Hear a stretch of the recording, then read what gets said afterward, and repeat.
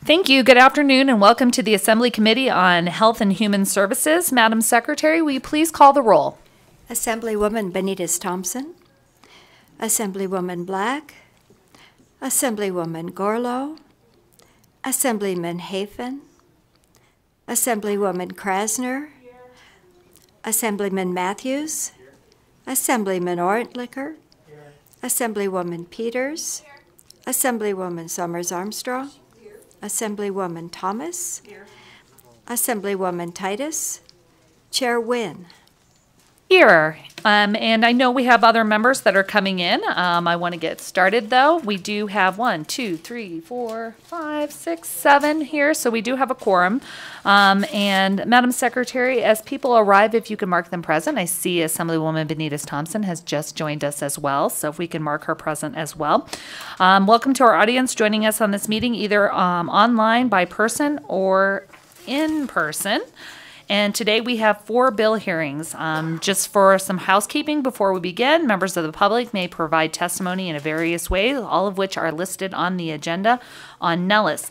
You may submit public comment either in writing in addition to testifying or in lieu of testifying. Written public comment may also be submitted before, during, and up to 48 hours after the meeting's adjournment Finally, please put your electronic devices, especially cell phones and laptops, on silent during the meeting. With that, we will move on to our first agenda item.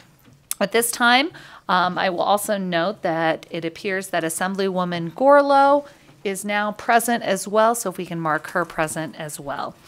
I will open the bill hearing on Senate Bill 70. Um, and welcome to our presenters. I believe we have Miss Flood on the um, Zoom here, and I believe she is going to be presenting along with Dr. Titus, who I believe is on her way as well.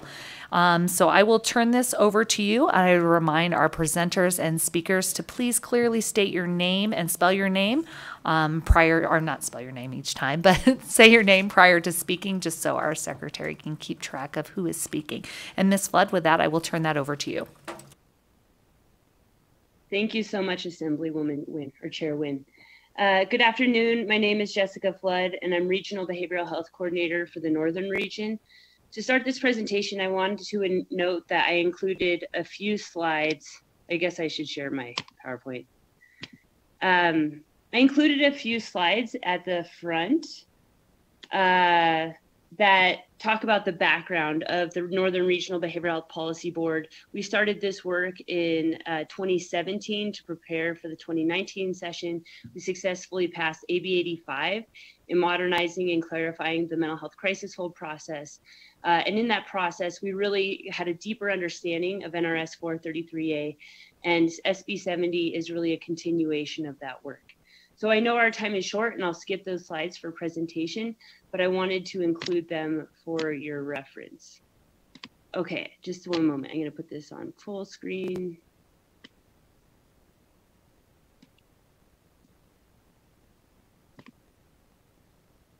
Okay. Um, so these are the first slides that I was just mentioning.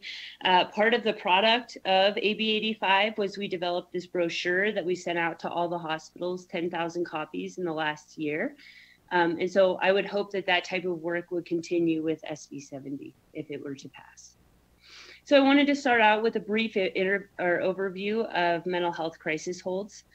All 50 states in the US have involuntary mental health hold laws to protect people and communities from risk of harm to self or others, or inability to care for self due to mental illness.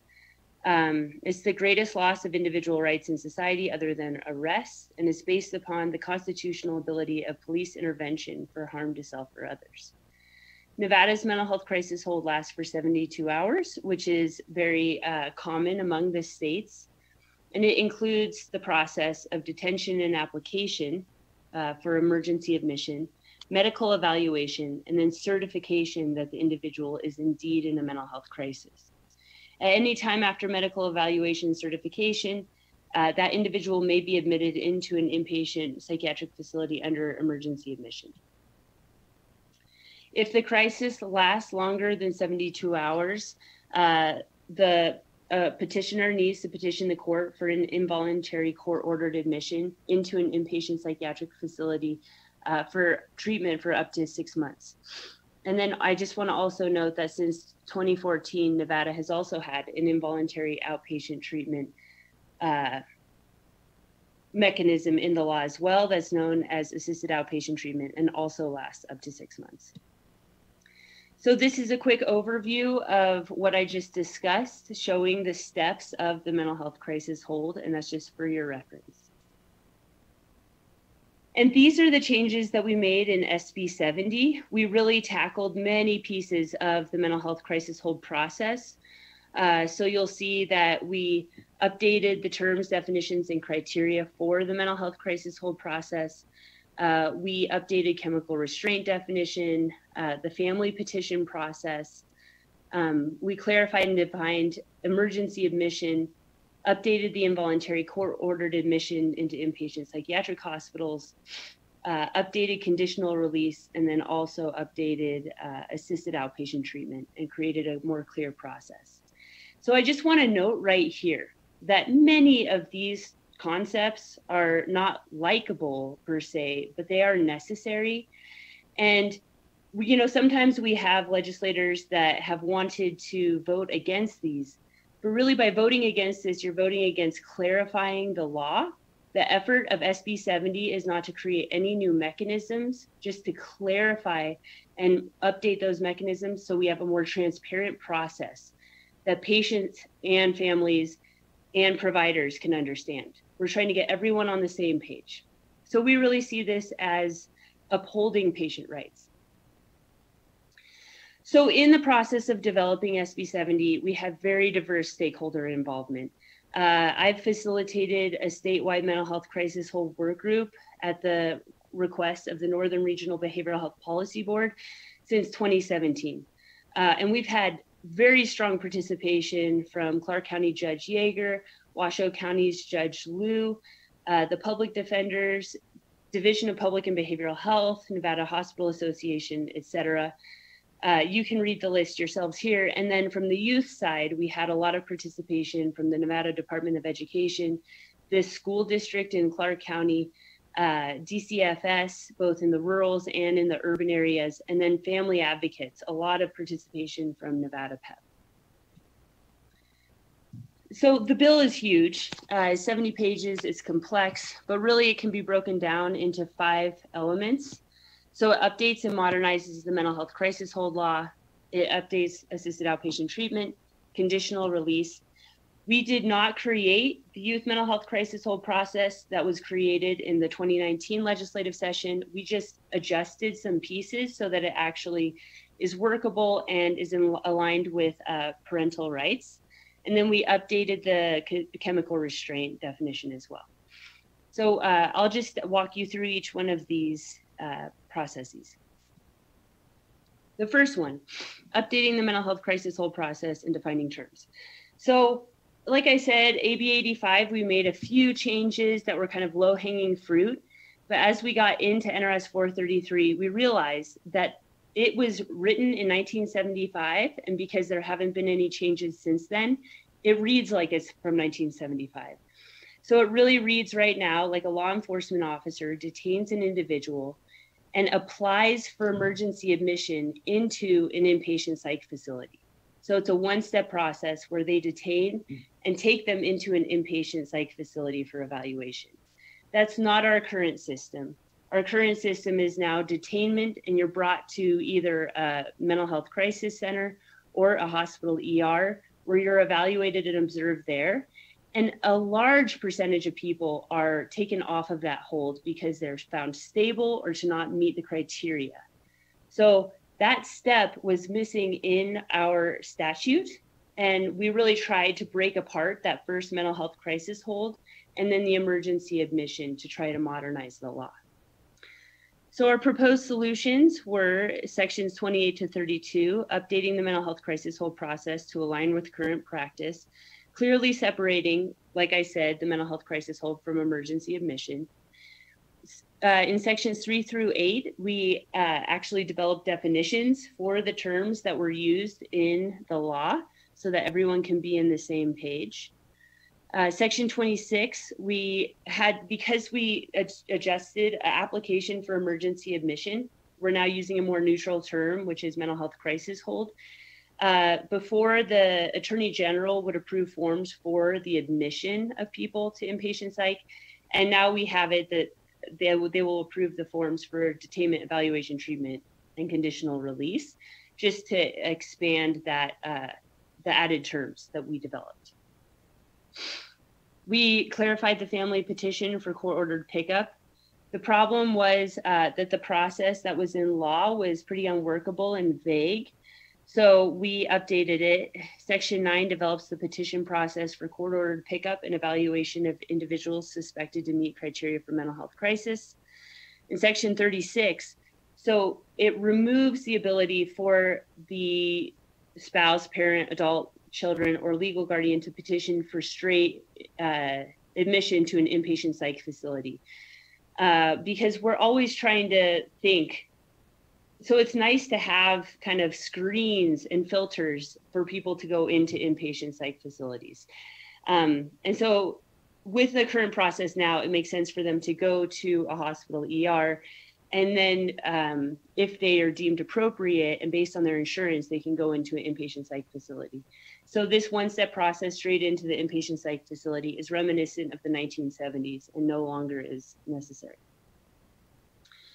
Uh, we clarified the hospital and court procedure for individuals who cannot be medically cleared in 72 hours. Again, that process was really unworkable in the law, and we made it so that it's clear. Hospitals didn't have a place in the law to turn to to understand, you know, what what process to take when those individuals are not medically cleared within that time. Um, and so we corrected that. We also updated hospital times for notifying uh, guardians in courts. Currently in law, hospitals are required to provide a notice of discharge to courts and guardians for patients who are under involuntary court admission 10 days prior to discharge. That's actually a longer length of stay than the average length of stay that people stay in inpatient psychiatric units, which is now about seven days. Uh, so we brought those times down to three days prior to discharge. And we also allowed for flexibility for hospitals because there's people who only stay for one day sometimes. Um, so we just tried to create more reasonable guidelines for that notification because it's an essential part of that discharge process. So sections 39, 47, 48, and 48.5 uh, made those uh, changes. We clarified the involuntary court ordered and county tra- transfer process. This sounds boring, but it is really important. Uh, patients were getting lost in the system as they were transferred between counties, and there was no standard timeline that existed to ensure detention doesn't extend beyond legal limits. Um, and so, Section 39 requires a person who submits such a petition to notify court if the subject of the petition is admitted in the facility and is then transferred to another facility. So that helps courts who have ordered people in to keep track of where these people go. Section, section 41.5 clarifies the court transfer process when examining personnel are not available and the county of residence is responsible. So again, there's times where like Esmeralda County does not have the resources to be able to do this court ordered admission. By law, they're able to transfer that to another county and it was vague in the law. So we've been able to clear clarify it so that courts can be on the same page with that. And then direct file in the county of treatment. So it allows this mechanism for the petitioner, let's say a rural hospital, uh, knows that the person is going to West Hills in in Washoe. Um, they can petition Washoe to do the court ordered admission, and that way Washoe can have oversight of that patient while they're in the Washoe system. Um, and so that creates a more streamlined process and also conforms to current practice.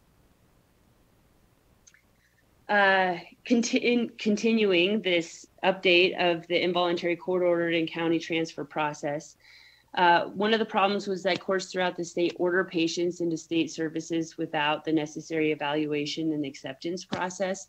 This happens a lot with NNAMHS and SNAMHS.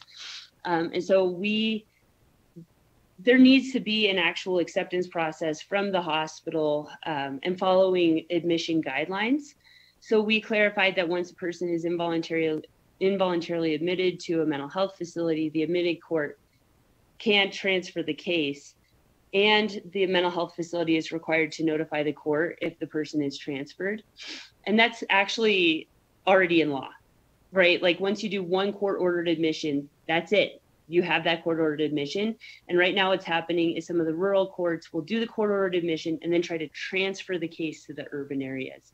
So you can see it's messy because there's just um, not much clarity in the law.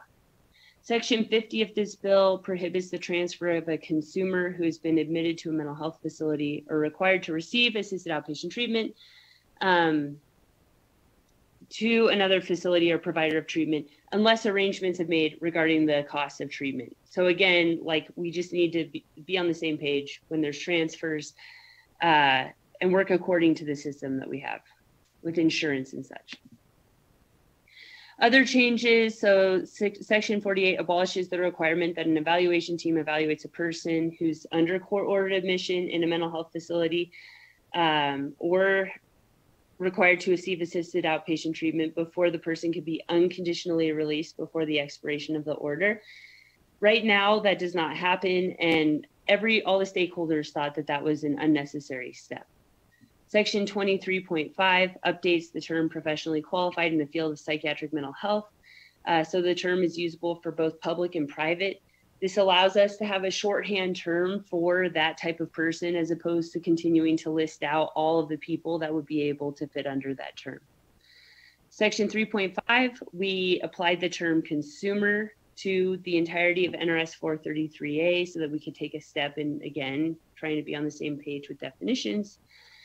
And then uh, we closed a loophole uh, prior to SB 70, what's in current law, is that it was only courts would seal records, they were mandated to seal records in cases of court ordered admission. Um, but not for all these other people that are in the system um, and they're still going to court. So there would be a person that could go to court, have their case heard, and the court would deny it. And there was no mandate that the court would seal that record. Um, and there's other cases like that. So we just wanted to make sure that uh, there was unique or there's standardized privacy across the board. For assisted outpatient treatment, so that's that court ordered outpatient treatment. Uh, these programs were written into law in 2014, and they were specific programs funded by SAMHSA, the federal funding uh, arm for mental health and they were kind of unique programs, one in Clark and one in Washoe. We had a technical assistance provider come and tell us that it's actually a generic kind of mechanism of treatment across the board. These are not specialized programs. So we really worked to develop a law that allows for that generic use in all counties, not just Washoe and Clark.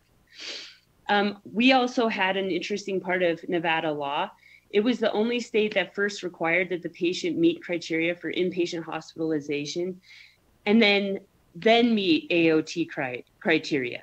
So basically, the courts needed to find that someone was a danger to self or others before ordering them into outpatient treatment in the community. Um, and so we really made some improvements in this with the criteria so that people are able to see the specific criteria in the population that this uh, court ordered treatment would fit. So the proposed solutions are sections uh, 11 through 21, 20.5, 24, and 43 develops assisted, specific assisted outpatient treatment criteria and program um, protocols, procedures, and clarifies and updates current law for implementation in all counties it creates a separate AOT process. So the AOT process was interwoven into the inpatient process. So now it's very easy to read and understand.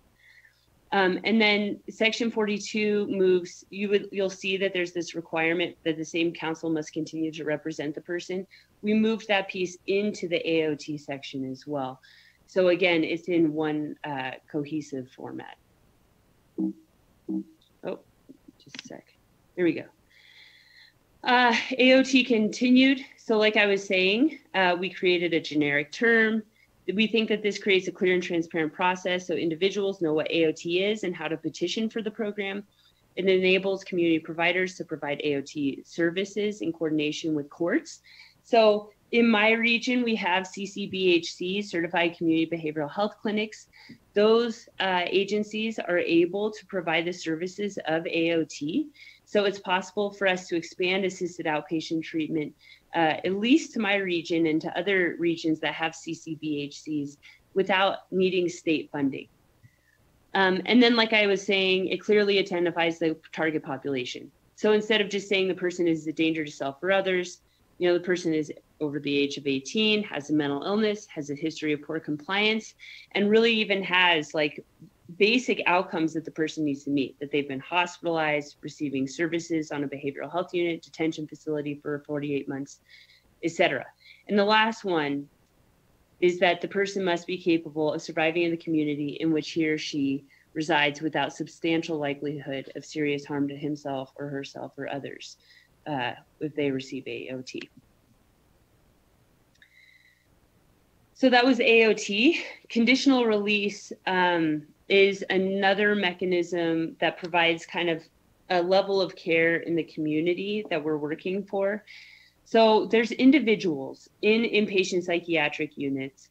Uh, I used to work on one as a discharge planner where you get them stabilized. They're no longer a danger to self or others. They're under court ordered admission but you know that without necessary supports that they're going to deteriorate when they leave um, and in those situations it's hard to discharge because that's essentially kind of an di- unsafe discharge uh, and so many hospitals may decide to keep that person until the end of the court ordered admission and they still haven't really found a great solution and so that person is discharged with not great supports and ends up um,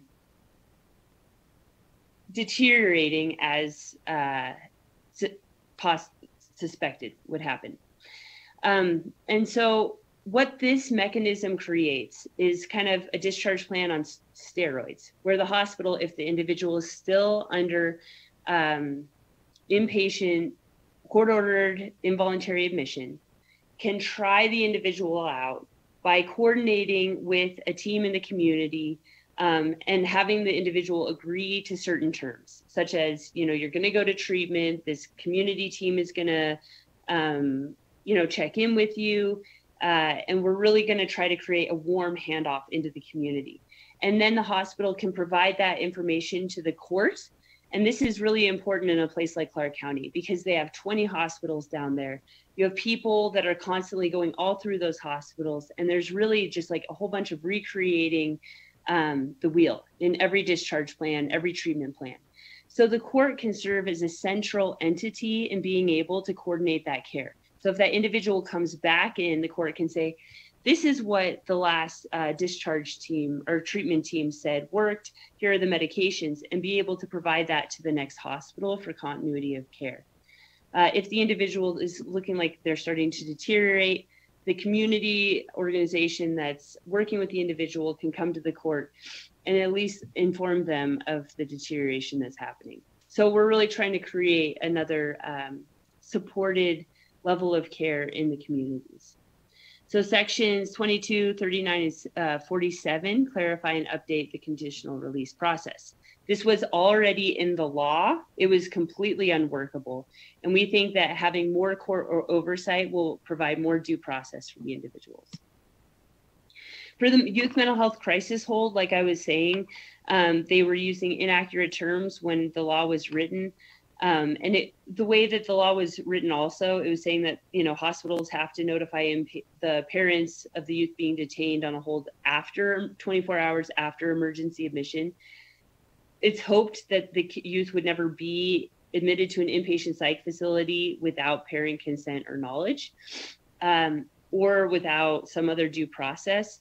And so we thought that what it's really trying to say is hospitals have to notify the parents 20 within 24 hours of the placement of the hold. So we just made small changes like that. Uh, so section 33 clarifies and changes the time hospitals detaining a youth must must notify a parent or legal guardian holding a youth under mental health crisis hold from 24 hours to eight hours. That was a big request from um, the family advocates. And we thought that that was reasonable on the hospital perspective because that's the first thing that you should be doing as a hospital if a youth is coming in without a parent. Uh, Section 35 also creates a mechanism for youth to be released from a mental health crisis hold to parent custody if the guardian or, guardian or parent agrees to treatment or accepts physical custody of the youth. Right now, there's no place on the form for that, so we wanted to create uh, that option and mechanism. And then finally, chemical restraint. I think everyone sees chemical restraint and probably is concerned about it. Um, but basically, Nevada's chemical restraint definition was developed in 1975 and is outdated and doesn't take into account for innovations, new medications, and new FDA approved uses of medications in healthcare. Uh, and so the solution was in sections 265, 66, 68, where chemical restraint is used, exclude modern FDA approved interventions for treatment from the definition of, of chemical restraint. Um, and so this was proposed by Dr. Raven with Division of Public and Behavioral Health, and he worked closely with uh, Dr. Um, shoot, I'm so sorry, I'm blanking on that. Uh, with the Commission on Behavioral Health, the chair of the Commission on Behavioral Health. Um, so we feel like that's a pretty vetted, a very vetted idea. All right, and with that, uh, I think we're at the end of the slides, and I'm happy to accept questions if you have any. Thank you, Ms. Flood. Um, I know that Assemblywoman Titus has arrived, and I know that she wanted to. She sits on the Northern Regional Behavioral Health Board, and so I believe she had a brief um, presentation also in support of Senate Bill 70. So I will turn that over to you, Assemblywoman Titus. Uh, Thank you, Madam Chair, and uh, members of the uh, Health and Human Services Committee. My apologies for being late at the start of this committee. Um, And brief, anything I would say would be brief compared to what our wonderful coordinator has to offer. Um, She's just been stellar, so thank you, Jessica. Those of you who already know me, I'm Robin Titus, District 38, and yes, I have sat on this board now for two sessions. I assume that uh, Jessica gave you, or Ms. Flood gave you an overview of what this board does. Hopefully, that's been done already. There are now five boards that uh, all have representatives from the legislature on these boards. I happen to sit on this one. Um, Those who are on this committee know, especially uh, Majority Leader uh, Teresa Benitez Thompson, know that we have been working literally for many, many, many sessions on what we know as the original legal 2000 hold, now with the mental health crisis hold, trying to fix this statute. The ultimate goal was to make sure that, number one, a person had their rights upheld. Number two, they got medical and mental attention in an expeditious manner.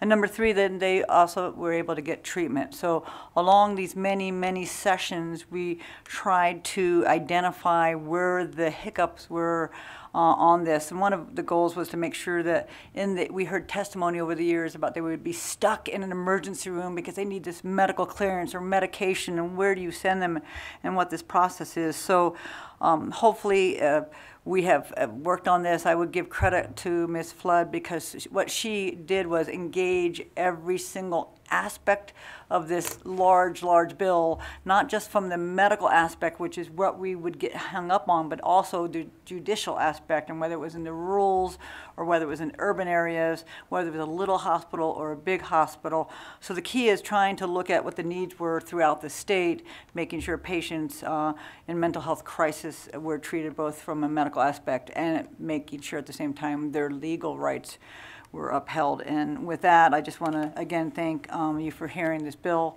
and appreciate uh, Ms. Flood and uh, uh, Taylor Allison, our, our chair of our um, our committee. So um, and happy to have any questions and. Definitely, the uh, experts uh, on this matter is sitting behind me on this video screen. I will tell you. Thank you. Thank you, Assemblywoman Titus, and thank you, um, Ms. Flood. Um, I know in talking with many of the stakeholders that you have spoke with that you guys were often meeting weekly, if not twice a week, throughout the entire pandemic to make sure that you were incorporating all those stakeholders. And so um, that reputation um, obviously precedes your presentation here today. And with that, I will look around to see if we have any questions from committee members. I believe we have Assemblywoman Thomas. Go ahead. Thank you, Madam Chair, and uh, thank you for the presentation. I do appreciate um, Ms. Flood and um, Assemblywoman Titus. Um, I have clarification uh, questions, and there, there are several. One is, are hospitals equipped to handle the mentally ill or people that they suspect that are um, mentally ill? Um, I know that we have in the South several uh, mental health um, uh, private facilities that can assist because that's what they do. And where the hospitals, it seems like they are not zeroing in on just that subject. Thank Uh, you. If I might, Madam Chair, I'll start with that, and then I'll turn it over to, uh, to Ms. Flood to um, cover some additional thing. But I would say, no, the hospitals were not. Assemblywoman Oh, Titus, sorry. can you state your name, please? Assemblywoman Titus for the record. Um, I would say that they absolutely were not, which is what was critical to another piece of legislation that we don't frequently refer to when we're doing one bill, but we passed the crisis stabilization centers, which were absolutely critical to, to, to looking at the overall mental health of our state. Because we, one thing we identify is we don't have adequate mental health throughout our state. And uh, our little hospital where I practice forever, a little eight-bed hospital, we didn't have a mental health area that we could actually stabilize patients in mental health crises. So that was a component that we're addressing throughout the state. Um, we're getting better at it, but this bill addresses that. This bill says, what do I do in the ER in my little rural area? How long were patients sitting in a big urban emergency room that maybe didn't have access to adequate mental health within that? Because we weren't mental health centers. And so partly we're trying to address out this legislation with some stuff that we've already seen here. So, and then, uh, Ms. Flood? Yes, Jessica Flood for the record. Sorry. Uh, yeah, so as Dr. Titus said, we're really trying to uh, develop that alternate behavioral health crisis response system. Uh, that 988 legislation, the crisis stabilization unit, it's pretty amazing watching that be built. But I think we have acknowledged that hospitals largely cannot respond to mental illness. Uh, and so creating those crisis stabilization centers and that crisis call line is essential to being able to uh, adequately respond to people that are in mental health crisis. Thank you. Follow-up, Chair? Go ahead. Thank you. So, if I'm understanding this, once that person is admitted to the ER and they know that this person is basically unstable, um, are they transferred to another facility that actually can um, give them the help that they actually really need without a court order? So, I'll start with that if I might. I'll start with that. Thank you, Jessica. Robin Titus for the record. So just for the process, um, when we start a mental health hold, there has to be a medical screening before they get admitted to the medical facility. And that's where our ER would come in. That's where they would bring them to me. I have to evaluate them, make sure that their mental health crisis is not due to a medical reason. Uh, is their blood sugar low? Did they stop some medications or some other medical reason before then? Yeah, this is a mental health issue. Then at that component in time, once we've cleared them medically, then we can't release them until we have an accepting facility. And so that's that warm handoff, as Ms. Flood had mentioned, that's a critical component to that. And, and having access to a bed, for example, there would be a waiting time where they'd stay in our ER literally for days until we could get them into a facility. And that's part of why we're trying to, that's part of why this board was even created because of those kind of issues, because there wasn't a place where we could do that handoff. And so they ended up sitting until a bed was available. So, uh, Ms. Flood, do you have anything additional on that? Uh, just to add, uh, Jessica Flood for the record, just to add that a court order is not always necessary.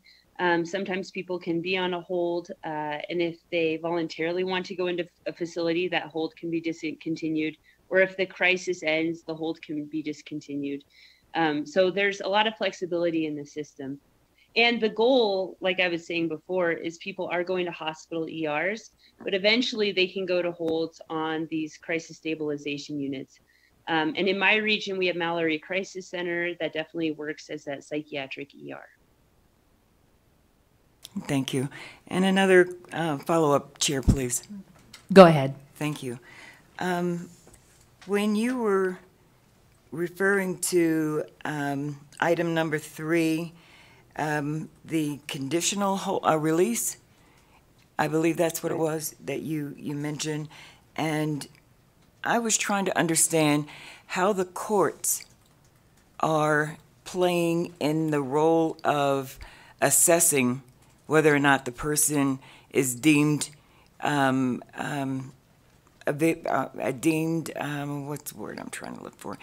Um, release, you know, because I don't understand that where a doctor can actually, you know, a psycho, a psych, a psychological, I'm sorry, um, I'm spitting words out right now, but um, a, a doctor can determine whether or not this person is able to be released, but yet and still the courts have to um, give permission. That's what I was understanding during your presentation.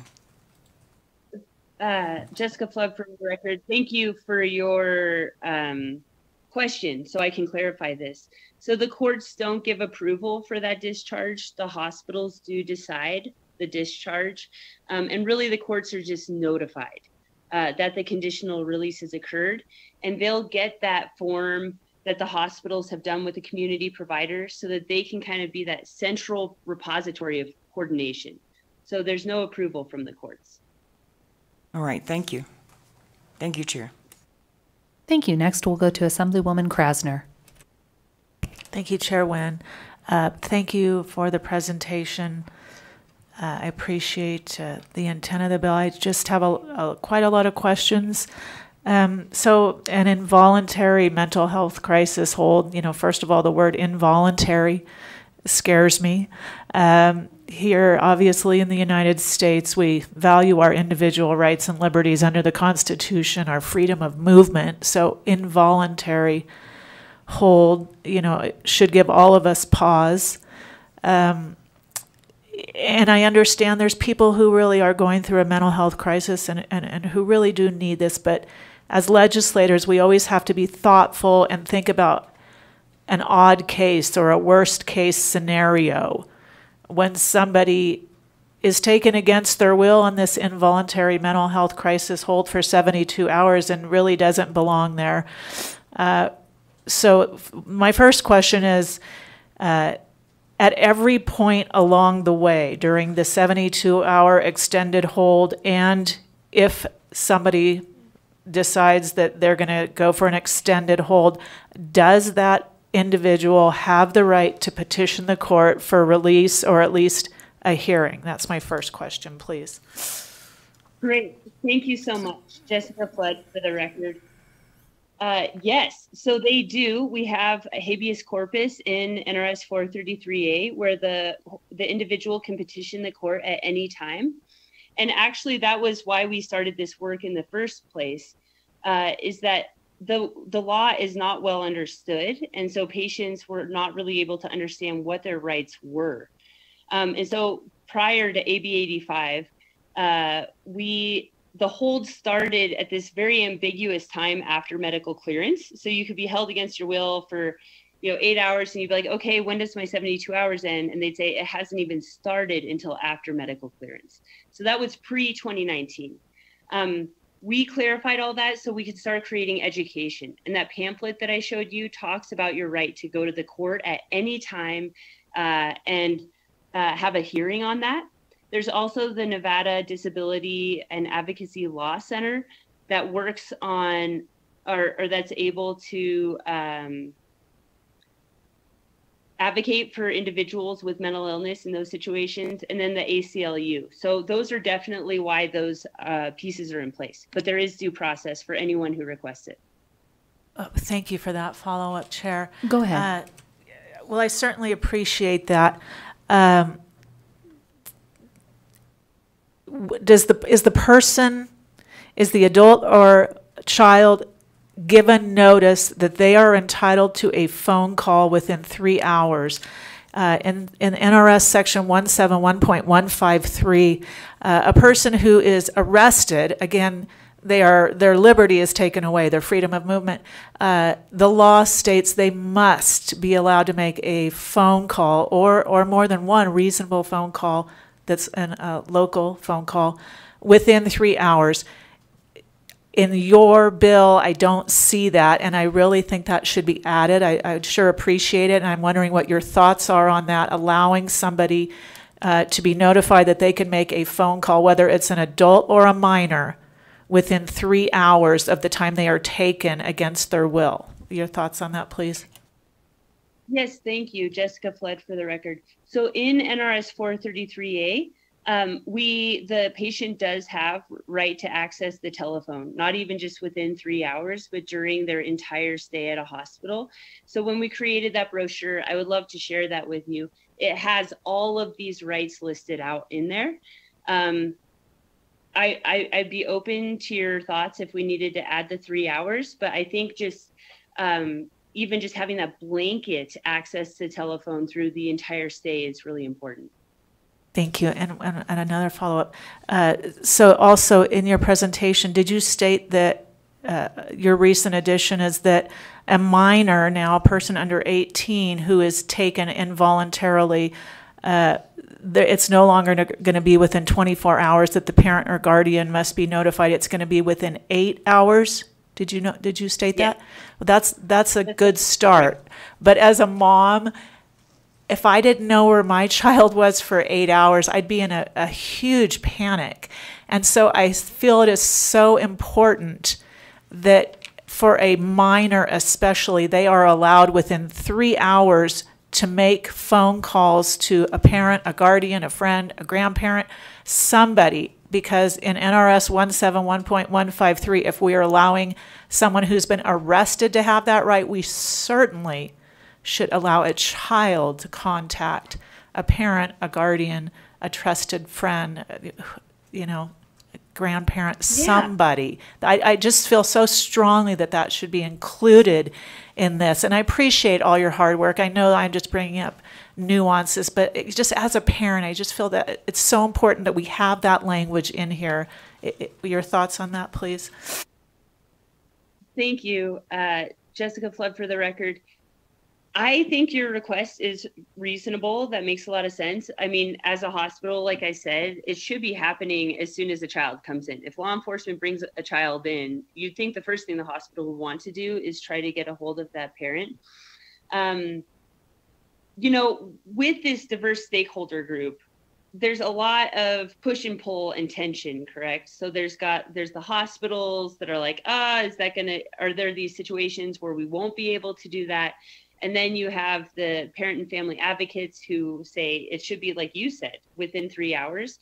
Uh, I think that's reasonable. I I don't know what the stakeholders think about that, um, but I I would be open to seeing what the stakeholders think about that. That's kind of a vague response. And, and, you know, Assemblywoman Krasner, I will ask you to probably follow up with her. I know that she is speaking on behalf of, you know, her position as a coordinator for the Northern Regional Behavioral Health Coordinator. So she probably has a difficult time um, answering that on behalf of all of the um, stakeholders that she has been speaking with. I, thank Do you have any other follow up questions? Yeah, I do, and I appreciate that. Um, I just remember when this bill came in, uh, that that a minor could be taken with you know without consenting the parents or guardian and, and held for basically 23 hours and, and and 59 minutes without notifying their parent. Uh, one of the directors of a local youth mental hospital reached out to me and said they were mortified by the bill and that they thought it would further traumatize children to not allow them to have that kind of contact or make a phone call uh, with a parent or guardian. So just for the record, I wanted to see if, if we could put that in there. Since we do give that to people that are arrested, I thought we could also give that, that same uh, right to, to people who are taken against their will. Thank Yeah, Jessica Flood for the record. I think Assemblywoman Chair I really appreciate that because, yeah, this has been a group effort with probably 30 stakeholders. And so I just don't want, I have my own personal opinions on whatnot, but, you know, in terms of the agreement and the process that we've put in, uh, I don't want to just agree to something because I'm here and not all of them. But on the other hand, I think that that's very reasonable to think about three hours. Thank you. Thank you. And I have a couple of questions for you, Ms. Flood or Assemblywoman Titus. Um, I know that a lot of work went into trying to do this during the 2019 session, and a lot of the work in Senate Bill 70 kind of plays off of the corrections and the clarifying language that was needed to further implement some of that um, those protections for patients um, as well, you know, within the legal system as well as within their medical care. Um, you had mentioned back to the um, telephone access. The way I read it is um, they have access to the telephone to make those kind of calls and make those requests for a hearing at any time, you know, whether it's in the first five minutes of them, you know, coming into contact with the system, um, or if it's, you know, three hours later or four hours later. Is that correct? Jessica Flood, for the record, that is correct.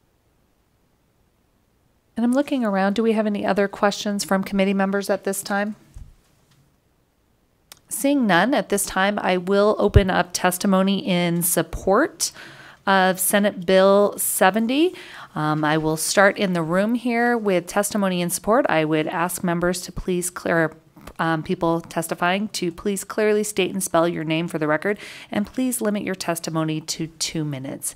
And we will have two at the table at a time, and we'll begin when we're ready.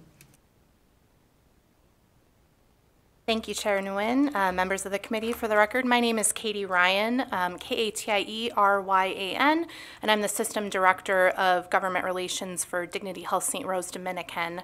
Um, I have provided the committee with a letter um, on the record in support and just wanted to um, let everyone know that we've been a grateful partner in this process um, and, and very grateful to Ms. Flood for all of the work she put into this. Thank you. Good afternoon, Kendra Bertschy with the Washoe County Public Defender's Office. I also want to thank all the stakeholders for meeting with our office to try to address the due process concerns that we had, and more importantly, for continuing to work on this extremely important area of law. Just by way of context, my office represents those individuals who are involved, the adults, in the involuntary commitment hearings. And in 2020, we had 2,185 individuals who went through that process. So we appreciate the work that's been done in the last session and the continued on here to work on um, reworking our antiquated statutes in attempts to clear up the ongoing systematic issues and provide clarity for parents, patients, and hospitals about the requirements. And just um, to address Assemblywoman Krasner's question, I'm happy, Ms. Flood, to work with you to see if there's anything else that needs to be done to ensure that everyone understands that they do have rights to reach out to their parents or loved ones so that everyone knows where they are located. So I appreciate that. Thank you. And do we have anyone else in the room to testify in support of Senate Bill 70? Um, seeing no one coming up to the table. Broadcast services, if we can go to the line. Again, I'd remind callers on the line this is testimony in support. Please clearly state and spell your name and limit your testimony to two minutes. To testify in support of Senate Bill 70, please press star nine now to take your place in the queue.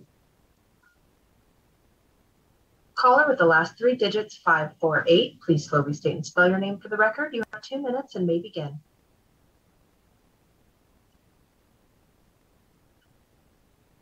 Caller, please press star six to unmute.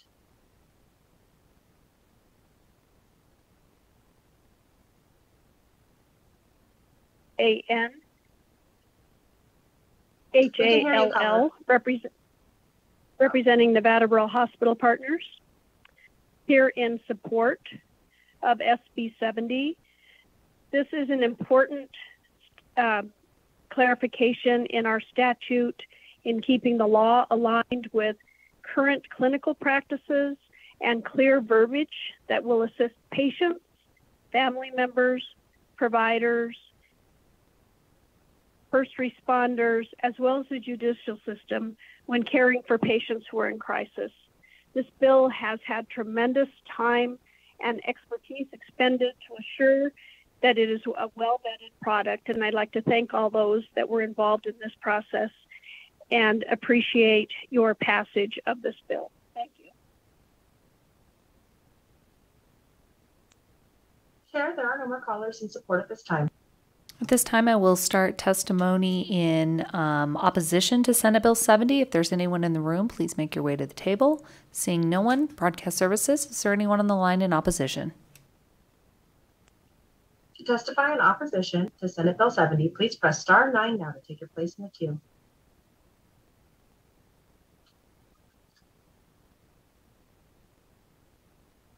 Chair, there are no callers in opposition at this time.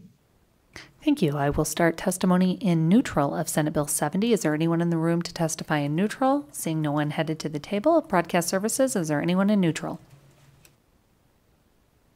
To testify in neutral to Senate Bill 70, please press star nine now to take your place in the queue.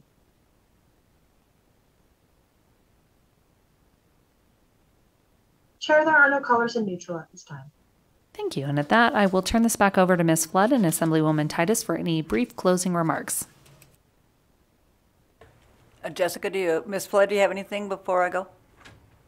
Okay, so. No, thank you. uh, uh, Assemblywoman Titus, for the record, I appreciate the committee hearing this bill.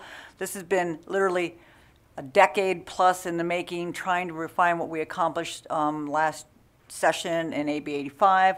Um, it, nothing is ever perfect, which is why we come back all the time for this. But I think that it's been really a, a collaborative effort with many stakeholders throughout this process, and would appreciate you supporting this bill. Thank you. Thank you, Assemblywoman Titus. And with that, we will close the hearing on Senate Bill 70. And at this time, I will open the bill hearing on Senate Bill 158. I believe that we have Ms. Block here to present Senate Bill 158. And I think this might be her first bill presentation. Is that correct? Yes, that is Going to knock it out of the park. Um, I will let you begin when you are ready. Thank you, Chair. And members of the committee, for the record, my name is Jillian Block, representing the Nevada Coalition of Legal Service Providers. Amy Honodel, representing the Legal Aid Center of Southern Nevada, is on the Zoom uh, with us today and will be available for questions. And I will start with just a brief overview of this bill. Uh, Senate Bill 158 is based on recommendations that came out of the Interim Child Welfare Committee. I would like to thank Senator Ohrenschall for bringing this legislation forward. SB 158 amends NRS 432B.623, which concerns the Kinship Guardianship Assistance Program, or KINGAP. The KINGAP program provides financial assistance to a relative who becomes the legal guardian of a child in foster care. Currently, a child's relatives are only eligible to receive financial assistance through the program if adoption and reunification have been ruled out as permanency options. Basically, that means that even if it is not determined to be in the best interest of the child, as long as reunification or adoption are technically out there as an option, the relative caregiver would not be eligible for funding. SB 158 will revise this requirement so that instead of requiring ruling out adoption and reunification, a child welfare agency can determine that being returned home or adopted are not appropriate permanency options for the child. This is a small change to the law that would ensure that the state law is not more restrictive than federal requirements, and which would expand opportunities to utilize federal dollars and ensure more permanency for kids.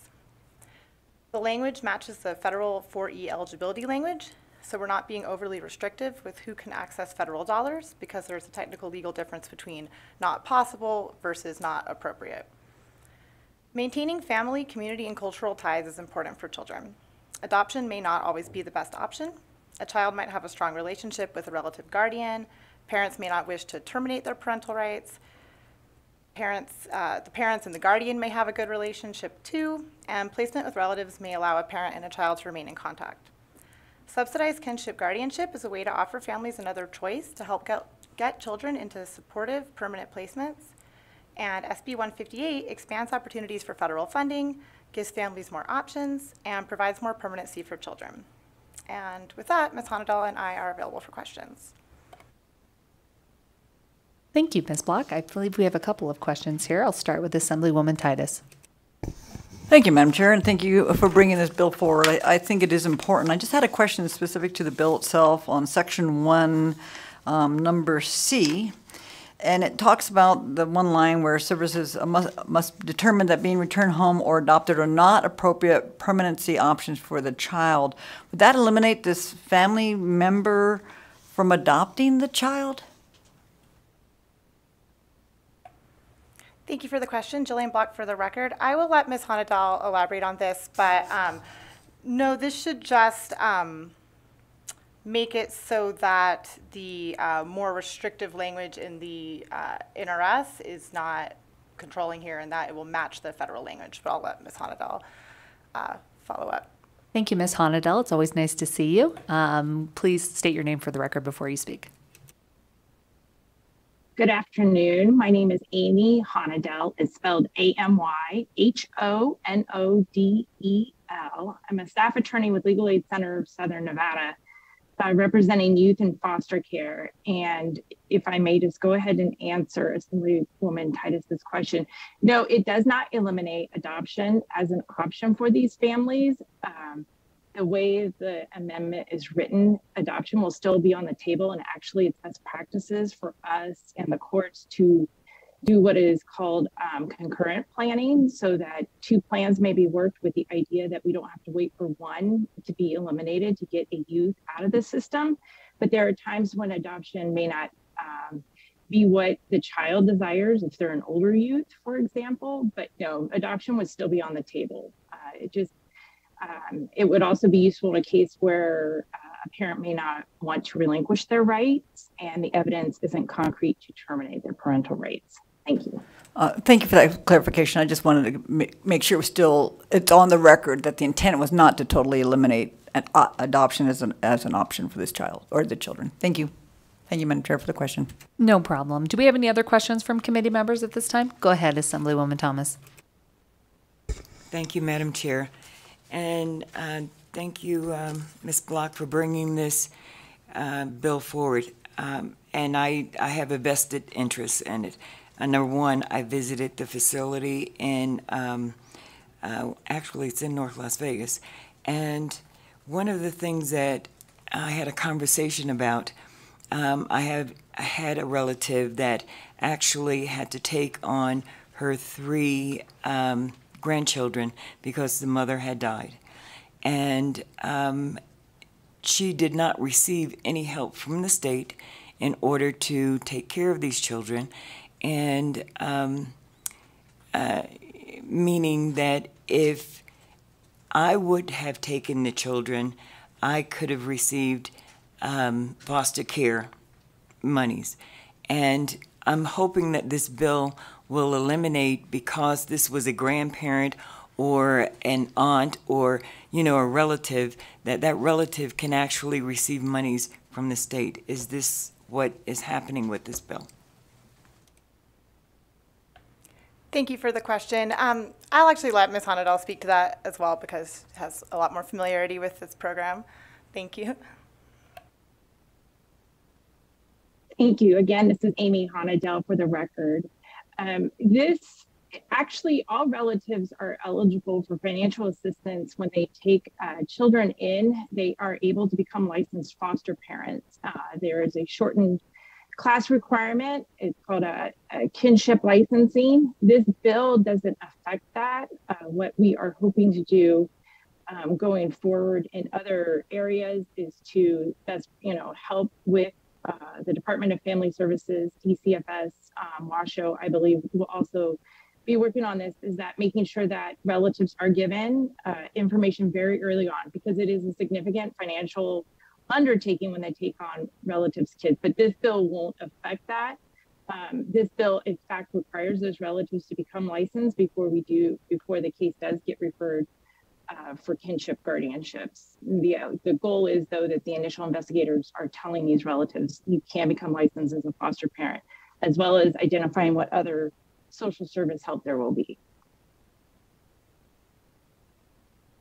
Okay, um, I'm not fully understanding that because it just seems like there is um, maybe misunderstanding on my part that um, a grandparent, because they either have to adopt that child or um, reunify with the parent, that um, they would receive assistance?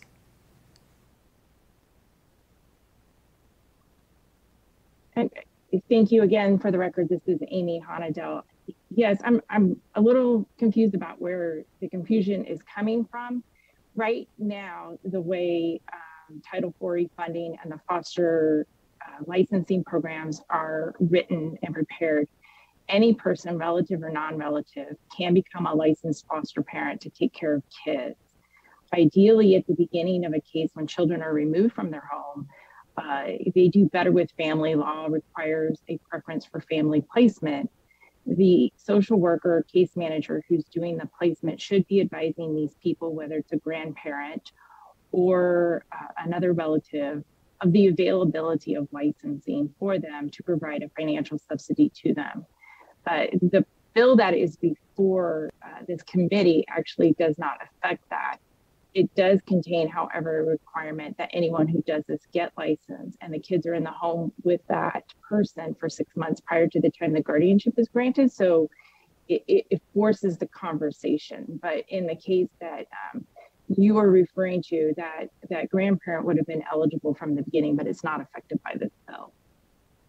Okay, thank you. So I do understand you saying now that um, in order for that grandparent, I'm sorry, Chair, follow up. I You're fine. Go ahead. Um, um, that the grandparent or relative would need to be a foster, a licensed foster care per- person in order to receive assistance from the state. And that is, again, Amy Honodel for the record, that is correct. And that is regardless of what the plan is for the child. Uh, it, the child can be going home uh, can be adopted, um, that doesn't affect that relative's eligibility to become licensed. So, you know, there's short path requirements to become licensed because we want these people to be supported when they have this um, unexpected, um, you know, asked to take care of children that are in their family. All right, thank you. Do we have any other um, questions? Go ahead, Assemblywoman Summers Armstrong.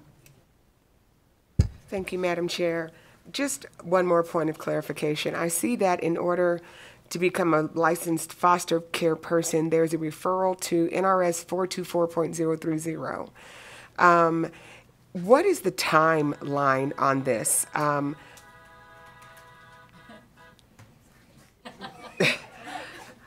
I'm not the only one. It happened to me on the floor. Hey, and I didn't even know how to turn it off. I was so embarrassed. Thank you, CH. Okay, not the only one. Okay. It's the last week of session. It's all good. Go ahead. And it sounded good too.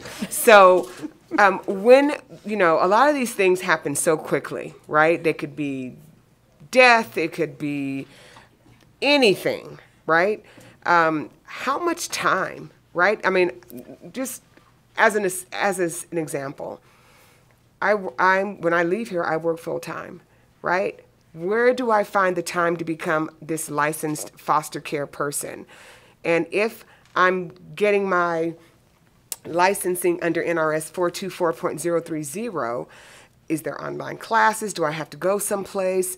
Um, if I don't do it fast enough, are you going to take my grandbaby from me? I mean, how, how does this work? And um, and I mean, this is so scary, right? This is really scary. Thank you. Thank you, Bailey Bortolin, for the record. Um, yeah, it's a scary process for everyone involved. Uh, so I, I want to pull back a little bit. KinGAP is a federal assistance program for to assist financially families who are relatives who take in their children for the foster care system.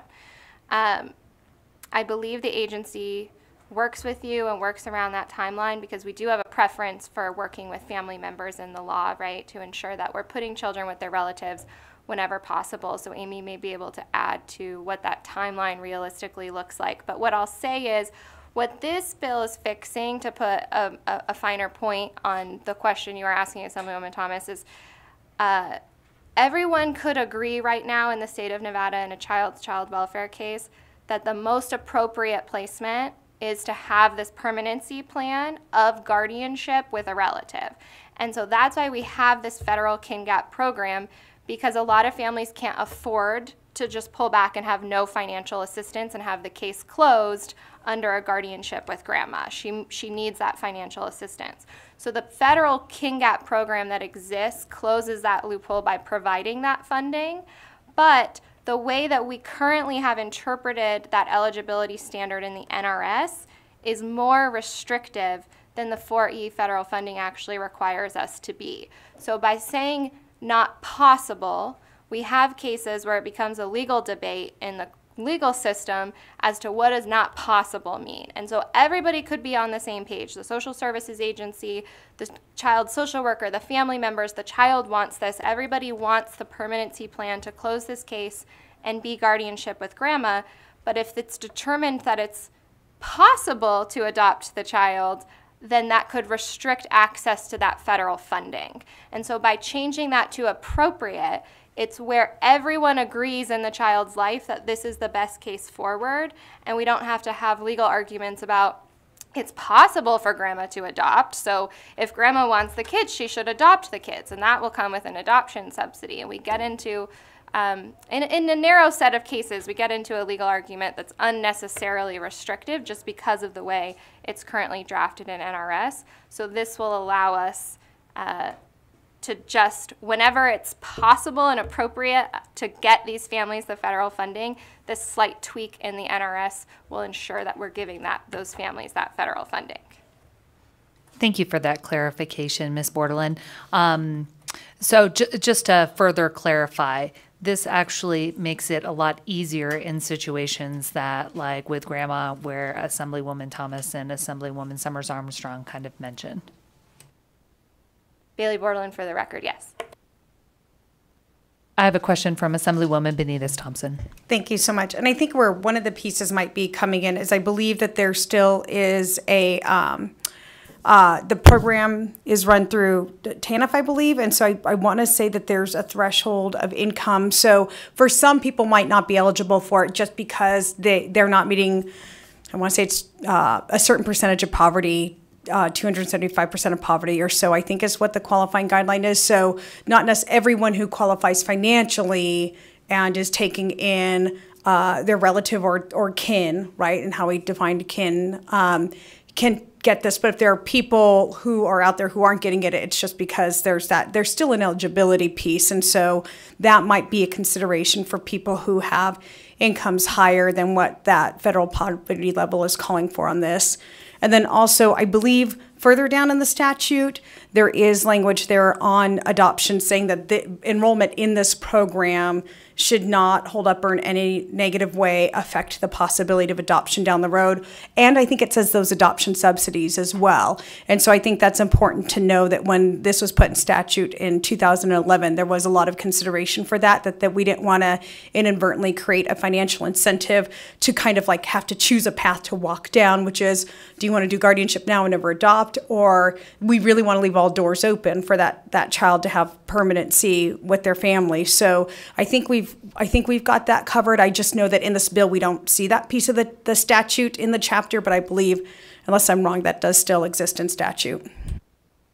Bailey Bortolin for the record. Yes, thank you, Majority Leader, for um, explaining that more artfully. So there, there are a lot of considerations that go into this. We're just in this bill looking at one consideration where we have found that uh, the NRS in some cases has just been interpreted to be unnecessarily restrictive, but you will still have to otherwise qualify for the program. But the unfortunate situation that we've seen happen is um, everyone agrees that grandma should take the child, and that is the plan, and that's what all parties involved want the plan to be. And so we've actually seen the guardianship be granted by the court as the permanency plan, but the KinGAP federal funding has not been attached to it, which leaves grandma to have a financial hardship that in some cases will end up having that relationship um, no longer be sustainable and the child will end up back in the child welfare system. So uh, the funding is not necessarily indicative of whether or not the guardianship will be granted. It's just whether or not the guardianship will come with financial assistance. And so this will, in those cases, help the family members uh, have access to that additional support when appropriate and when they otherwise qualify through the program.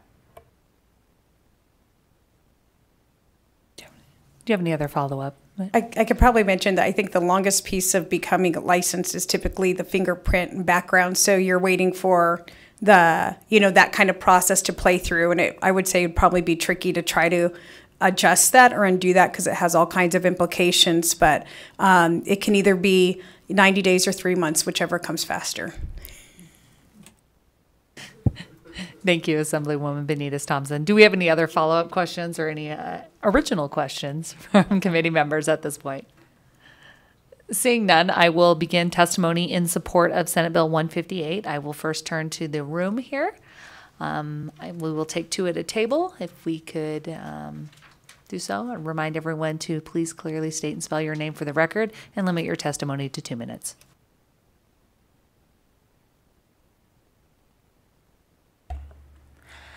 Good afternoon, and thank you, Chair Nguyen and committee members. My name is Kendall Lyons. I'm the Director of Health Policy with Children's Advocacy Alliance. Uh, for the reasons that have already been stated, we already have our support on the record, but I just wanted to reaffirm that support here with you today. Good afternoon, Kendra Bertschy with the Washoe County Public Defender's Office. My office represents the parents in those dependency 432B cases. We are in support of this legislation, and I'll just add and echo the statements from Ms. Bortolin of when I was a children's attorney, I had several cases where we had this issue where everyone wanted the grandparent or the relative, the aunt, uncle, sibling to still have that child where it was best for the child to remain with a family member. But because the plan had to be guardianship and there was no financial support, that added a lot of angst and issues for the entire family. So I urge your support of this bill. Thank you. Good after. oh, Good afternoon, Chair Nguyen, members of the committee, Joanna Jacob, on, beh- on behalf of Clark County. Uh, we worked with legal aid um, and stakeholders on this bill in the interim leading up to this um, legislative session. I did want to put on the record, Clark County, we have a large, um, we have a we have a great degree of our foster care kids with relatives and in relative placement. As of March 2021, I just actually pulled this while we were having this discussion. We had over 1,100 um, children who are staying with their relatives. It is a something that Clark County supports. I also did want to put on the record that. Um, really what we're talking about here is the subsidy and it was important to clark county that we have the language in this bill mirroring the federal 4e uh, language so that we can get financial assistance to our relative placements. Um, we do need them to be in that placement. You'll see in the bill that they have to be with that relative for six months. Um, and then during that time during we work with our relatives to get them licensed. We do have expedited licensing pr- procedures. If the licensing is delayed, it delays the subsidy. It, we, it is not a situation where we would remove the child from that family placement. We do we want to avoid disruptions to the fullest extent that we want to. So I just wanted to say that for the record.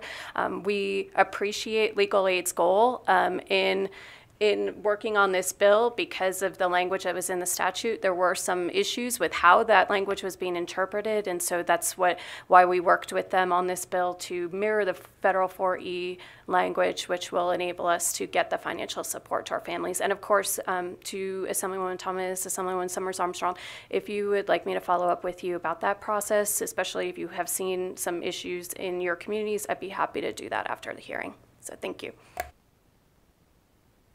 Thank you. Seeing no one else in the room, Broadcast Services, if we can go to the line for testimony in support of Senate Bill 158.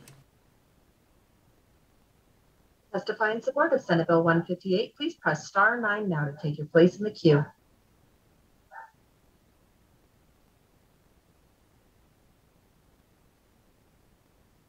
Chair, there is nobody in support at this time. Thank you, Broadcast Services. I'm going to the room for any testimony in opposition of Senate Bill 158. Seeing none, Broadcast Services, is there anyone on the line in testimony, um, in, on the line for opposition testimony? To testify in opposition to Senate Bill 158, please press star nine now to take your place in the queue.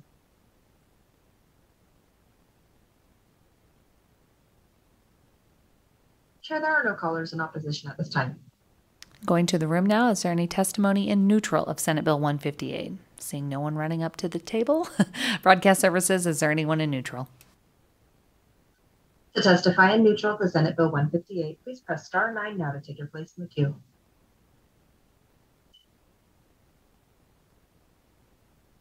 Chair, sure, there are no callers in neutral at this time.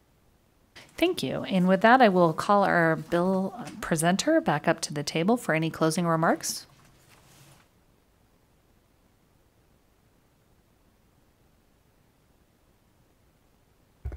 Thank you, Chair. Um, I'll just reiterate that this bill simply makes a small change to a narrow piece of the NRS to ensure that the eligibility requirements um, are not more restrictive than federal requirements and just creates and expands uh, more opportunities for, for families and children. So thank you so much for hearing uh, SB 158 today. Thank you, Ms. Block. At this time, I will close the hearing on Senate Bill 158 and open the hearing on Senate Bill 175. I believe we have Senator Neal here to present Senate Bill 175. Welcome to Assembly Health and Human Services, and please begin when you are ready. Thank you. All right, good afternoon, uh, Chairwoman and Assembly Committee on Health and Human Services. I am Senator Dina Neal, and I'm here to present SB 175. SB 175 is legislation that I brought forth on lupus. Um, I have been trying to tackle a couple of diseases that are considered invisible diseases. Last session, I tackled sickle cell.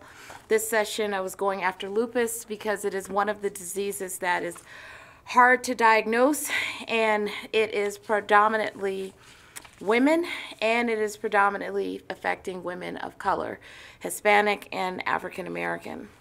So I also have a co-presenter. I don't know if she's on. Uh, she is over the Nevada um, Lupus Organization, uh, Miss Calvina Williams. I think she was supposed to be on Zoom. She on? Because she's going to be a part of the. I am not sure if she is on the Zoom. If you are on the Zoom, if you can unmute yourself, we would know.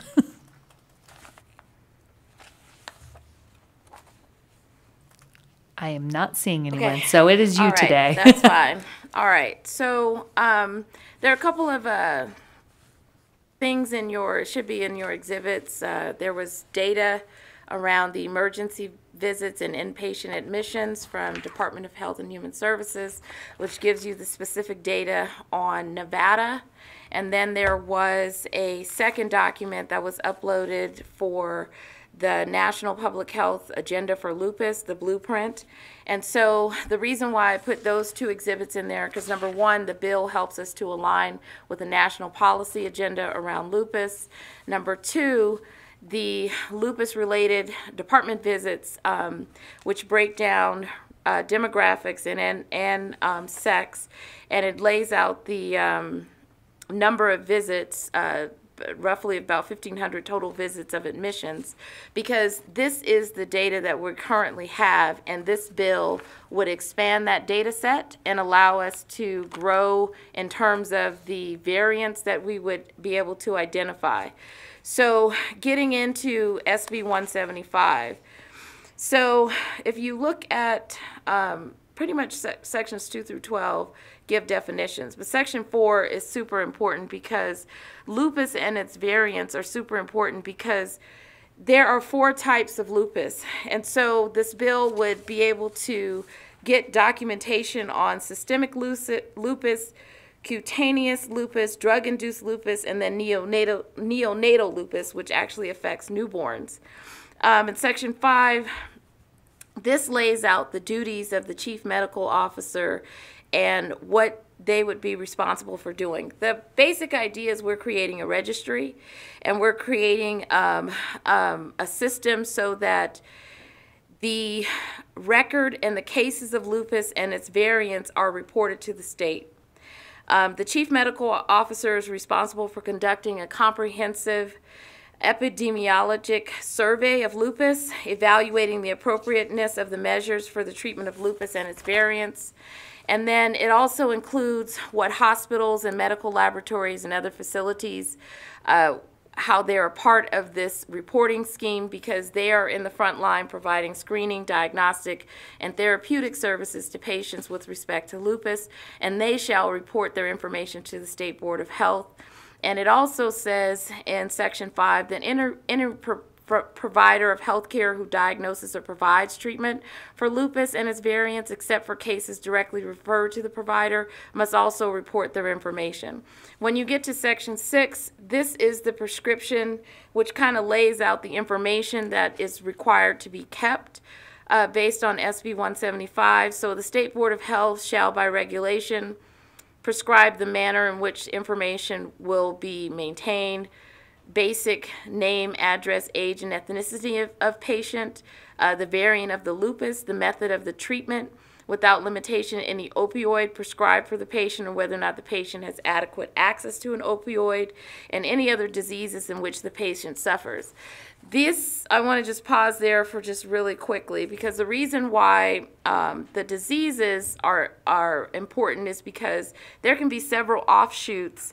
You can end up with a cardiovascular disease, stroke, um, rashes, painful joints, there's inflammation, um, fatigue, and some cognitive issues. When I met some patients over the summer, and in the presentation on the Senate side, there is a clear case of, um, based on the women, that they are being misdiagnosed when they go into the hospital. Uh, Miss Calvina, if she would have been on, she had been in a situation where they believed that she was going in, she was having a stroke, and truly, if if the doctors had had their way, they would have given her medication, which probably would have ultimately caused her death. Because what was really happening was that she was having a lupus-related incident that needed to be diagnosed, and it turned out that there was only one doctor who happened to pass her while she was laying in the hallway who then identified her symptoms and then was able to treat her. And then she is now living with us today. Um, I ran into women who, when they are encountering issues with their primary, well, really, they're rheumatologists, um, and there are only a few rheumatologists in the state, they are then challenged with the um, care model that is being presented to them because they're being told that they're not really sick, they don't really have lupus, but yet they've been diagnosed for 10 years. I just recently heard a story today of a woman who had been on uh, lupus medication for probably the past 20 years, then ran into her rheumatologist who then took her off of all medications and then placed her on Tylenol for her pain and inflammation. And Tylenol has the effect of uh, damaging kidneys of a lupus patient.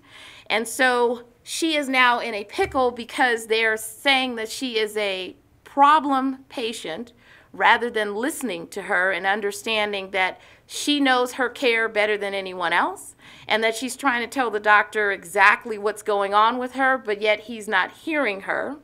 And now she is in a state of panic because she needs to find another doctor who can take care of her, but she is worried about the absence of the medications because he removed those medications from her. And now she is on nothing and trying to figure out how she can tell her story to a physician um, and hopefully get over to a primary care physician that will help her uh, hopefully get back on her medications and manage care. So this is an invisible population. So it's very important that number one, we document the method of treatment, which is in the sub C in section six, and any other diseases that the patient suffers, and the information concerning the usage and access to the healthcare service by the patient. And that's key because they are running into roadblocks um, in terms of their access to healthcare and it being properly establish that they are lupus patients and not something else. Um, the bill continues to talk about the confidentiality, which is in section 6, sub 3, that there will be a protocol established by the State Board of Health around the appropriateness for access to and preserving the confidentiality of the records of the patients needed for the research into lupus and its variants. In section 7, the chief administrative officer of the healthcare facility shall make available to the chief medical officer or his or her rep um, information around the healthcare, each case of lupus and its variants. And the division then has the responsibility to abstract from those records um, information and compile in a timely manner what is going on with the lupus and lupus variants. It gives a uh, six months, not later than six months after the division abstracts the information or receives the information from the healthcare facility. So there is a timeline. And Section 8 this is the reporting and what the report shall be based on, which then re-references section five, six, and seven. And it talks about here the reports and what they will be based on. And so based on five, six, and seven of, of the bill, it makes it other appropriate uses of the information to report. It's very important because this section is going to assess the trends and the usage of and access to healthcare services by the patients with lupus and its variants in a particular area or population. It will also be important for this section to be applied because they will advance research and education concerning lupus. There are um, several organizations that are already in play on the national level. The CDC has actually been running um, uh, surveillance projects in a couple of other states it would be nice if once we pass this bill and get aligned with the national standards that we could become a part of a surveillance project and actually start to be able to develop and lift up these patients so we can identify their associated uh, disorders and the variants and the access to care issues that they're facing. Um, further on in section 8, if you look at A, B, and C, it lays out the information concerning the locations in which um, patients diagnosed with lupus, the demographics of those patients, the utilization, and then the information in paragraph A specific to patients diagnosed with lupus and its variants who are over 60 years of age, and the transition of patients diagnosed with lupus and its variants from pediatric to adults uh, upon reaching um, 18 years of age. This is important because the continuity of care is important for a young person who may have been diagnosed before 18 and what that continuity of care will be from rheumatologist to rheumatologist or if they're coming from another state this will also allow them to at least have some kind of connection to build that transition. This language was similar to an issue I dealt with with the sickle cell patients because they literally had a drop off at 18. And because of the drop off at 18, they had an absence of care between becoming an age of majority and then having to find their own health care and then a primary care physician and therefore a rheumatologist who would then help them uh, uh continue their medications and um, be able to manage their disease. In Section 9, the chief medical officer or any qualified person or designee shall analyze this information. And they'll analyze the information pursuant to sections 5, 6, and 7.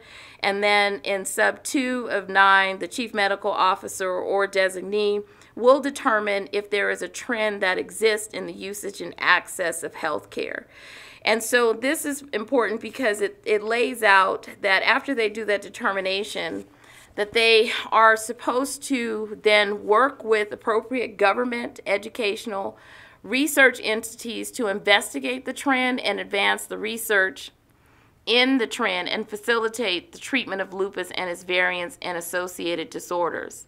In Section 10, it allows the division to apply for and accept grants gifts and donations to carry out the sections 2 through 12 and then it continues to discuss how they are going to coordinate and administer any other state programs related to lupus um, because I wanted to make sure that this bill tied them into any federal activity, any state activity that was going on, and so that they were um, coordinating at every chance they possibly can with other states to move themselves ahead. And so with that, Madam Chair, I will open myself up for questions. Thank you, Senator Neal. Go ahead, um, Assemblywoman Titus. We'll start there.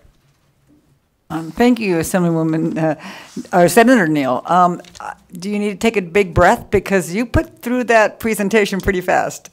So I appreciate you bringing this forward, and I absolutely appreciate your passion and your caring for your constituents and all of Nevadans. So thank you for that. A um, couple technical questions on the bill itself. Um, under section six, number, or I'm sorry, I apologize, section five, number three, when you mention hospitals, medical labs, and other facilities provide screening, et cetera, you have to give that information unless uh, it's been done through somebody else. So how would they know that and to prevent some of this uh, double reporting? How, how, how will they know that it's already been um, provided? So Senator Dina Neal, for the record, that will be a key piece that I think the department will have to deal with. Right now, uh, for the data, we just are using the ICD-10 codes in order to identify whether or not they hit the emergency room or have inpatient. And so there is an absence of data. Um, and so this this would be the this bill would help in refining and making sure that we're not double getting information because we don't have the full set of data that we need in order to do the analysis and to determine the access to care and the treatments around the variants. And so um, that's what I thought was unique when I started um, looking. It had to have been last year because I know it wasn't in the summer. And I started asking, what data do you actually have on lupus? And can you send me anything that you have from the biostatistician? And so, and this, that's why I uploaded what, um, what I did receive in the exhibits because we need to actually collect data. So I can't tell you that it won't be duplicated because we actually need to just get in the fray and find out what's there and then pull it from all of the areas and then do the analysis. And then from that benchmark, make sure that the standard of the information that's being recorded is actually just coming from those one entities. What I do know is that it's a small subset outside of the hospital because they either see the rheumatologist, and if they can't see the rheumatologist, then they see a primary care. Follow up, Madam Chair? Go ahead. So, uh, thank you for that. Um, As a primary care doc, family practice doc, I have seen many patients who thought they might have lupus, or subsequently I diagnosed lupus. So, it's not something that's just limited to, to uh, women of color. I, I will say um, it is throughout the spectrum, and I've seen it in, in many different folks, but especially women. Um, But I would say they, getting into that rheumatologist is the X factor. You know, we have to do all these tests prior to, as you already mentioned, we have so few rheumatologists in the state. And before I could refer a patient, I'd have to send them all the stuff that I did, the tests that I ordered, using, and in order to use, to obtain a test or get permission from their insurance companies, I'd have to use an ICD-9 code to justify the test. Uh, and so, you know, I just wanted some clarification on, you know, how they're reporting, duplication of reporting, but certainly understand your comment that in order to even start, we have to have some sort of template to get started with the data, then we can maybe go through it later. Uh, next question, is there another, any other states that have this model? Would Nevada be the first state that does this, or are you using some other states' um, successes? So I I pretty much built this bill off of um, my sickle cell bill, but they are doing it in California, and it's my understanding that they're also doing some work in New York. Um, it and I believe Georgia is one of the other states. Um, they in 2011, Illinois passed uh, Lupus Education Awareness Act. Um, 2014, Georgia created a council on lupus for education awareness. So they've they've done different variations, but they focus more. California has been the surveillance project that's been with the CDC, but Illinois and Georgia focus more on education awareness. And so I, I actually watched a couple of videos that the um, it was a representative in Georgia because she had lupus and then she took it on but they were doing more of an education piece. Our this bill 175 was really getting into that reporting and doing the registry, which I was trying to match with what California was doing. Thank you for that. Again, thank you for your passion, Senator Neal, and thank you for the questions, Madam Chair. Thank you. Next up, we can go to Assemblywoman Thomas. Thank you, Madam Chair, and thank you, Senator Neal. Um, my question actually is just, you know, with the reports, um, I love the bill, and um, I don't know if it's appropriate. I would like to also be a co-sponsor on the bill. Um, I know that this is crunch time and probably won't happen, but for the record, I would just like to note that. But I also want to know, um, after all the reports are in, is there a way for the legislature to get the reports so that they just don't sit on somebody's desk and collect dust? Senator Dina Neal, for the record, thank you for that uh, question. I, I'm going to do two things. I want to I want to acknowledge uh, Assemblywoman Titus because it is true that if you look at the data, uh, lupus affects 88% women. And to get to your question, uh, I have not considered giving it to the legislature because actually, in the reverse, reports sit on the legislature's desk. so, no. So, I have more interest in it actually going to the division where they are actually more engaged and more active in looking at the information because the way the bill is set up, you have the chief medical officer engaging in analysis and doing an assessment to determine trends.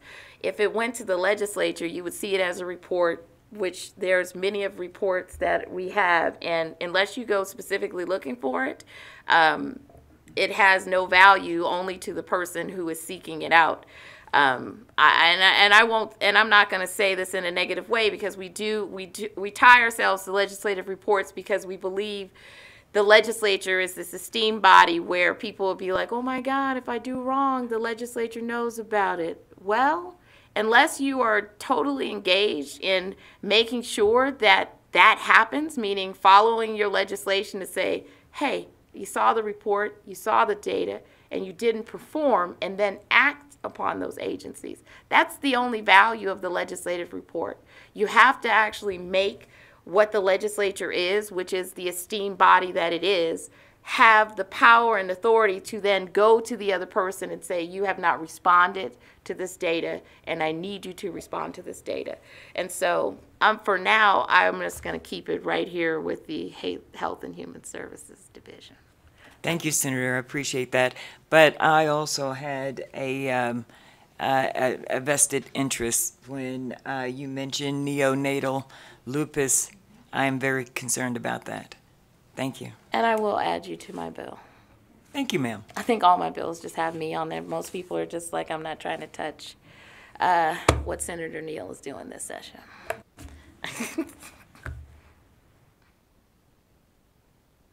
um, Assemblyman Matthews. Yes, thank you, Chair. Thank you, Senator. Um, I appreciate the question from Assemblywoman Titus because I was sort of had some um, curiosity along those same lines. I think you said in response that California is the state that's got a registry along these lines. And I'm wondering if you could just speak to you know, what are they doing with that information? Has it led to policy changes, policy changes um, in the works, um, any changes or improvements in health outcomes? I guess that would depend partially on how old uh, the registry is or how long they've been doing this. But I'm just wondering if you might be able to speak to um, what's occurred over there as a result of this. Thank you. So there, so there's a couple of things. So I'll start with this. So California attempted legislation uh, twice. A, they attempted in 2011, um, and then it didn't pass, and then they tried again in 2014, and then they got connected with the CDC. Um, and it's my understanding that the work that they've been doing, which is a part of the National Lupus Patient Registry, they have managed to um, get consecutive funding from Congress of about $9.5 million. Um, they have also managed to fund $10 million for a lupus research program in which the California and um, I believe Georgia is a part of the CDC surveillance project. And then in addition, in 2020, because of the work that's been happening where they've been giving the information to this uh, CDC and this national group, they've been they've managed to get two million dollars um, for the lupus program at the Office of Minority Health. Um, it was an increase of over 750,000 from the fiscal year 2020, and then in um, National Institute of Health was then given an increase of 1.2 5 billion, which is the largest public funder of research.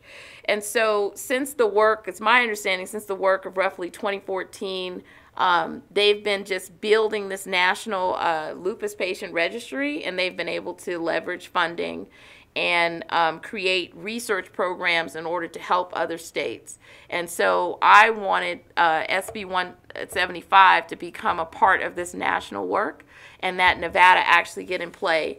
Um, I didn't find out that we were behind the times until I got this actual document from um, Director Whitley, who then told me that SB 175 aligned with 2015 agenda that around lupus work. And so I said, okay, well, it's 2021. Let's get in the game. We're six years behind and start playing in this national work. Uh, quick follow-up, Chair, if I may. Yes. Thank you, Senator. So it sounds like the, in, in terms of the initial consequences in California, it's resulted in access to additional funding, perhaps premature to say whether or not that's um, getting us on the road. Presumably it would, but to, to improved health outcomes, um, changes in policy beyond that. We're kind of, they're kind of still in the phase of bringing in uh, assistance or financial funding for this at this point. Is that correct? Um, Senator Dina Neal, what I would say is that based on the Center for Disease Control, um, the latest report said that they were able to um, document 16,000 new cases per year. And I think that the registry has helped them to reach that 16,000 per year. And so I, I wouldn't say that they're in they're in the forming stages because what they have they they probably started at an infant stage around the 2014 2015 and then they have successfully grown. I just want nevada to be a player because we have a lupus population here that feels uh, like they're drowning and that they're that they're not a part of the care. And the woman uh, miss calvina williams has been she created her own organization in order to do the work in vegas and she's doing it all on her own, just reaching out to women. But this gives her a chance to take the work that she did, sweat, blood, and tears, and to leverage it into the state and then hopefully into a national conversation to say that Nevada has lupus patients that need to be a part of the work. Appreciate that. Thank you, Senator. Thank you, Chair. Thank you. Next, we can go to Vice Chair Peters. Thank you, Madam Chair. Um, let's see, my and thank you for being, bringing this bill. Um, we have a familial connection with lupus, and um, it is a pretty terrifying disease with the unknowns and some of the ways that it expresses itself. And I think um, the the information around it is is not super readily available, um, and it can be really scary in that diagnosis piece. Um, my question about the reporting expectations in the bill, um, I just want to clarify on the record. Um, are you expecting that the reporting be defined through the regulatory structure? That's my understanding in, in the bill, and I just want to ensure that that's uh, Senator Dina Neal, for the record, yes. In section six, yes, it's by regulation. Okay, and then from there, are you expecting that the regulations will um, ask for reporting per case or on an annual basis, and by which provider, either the individual private provider or the the facility in which the provider works?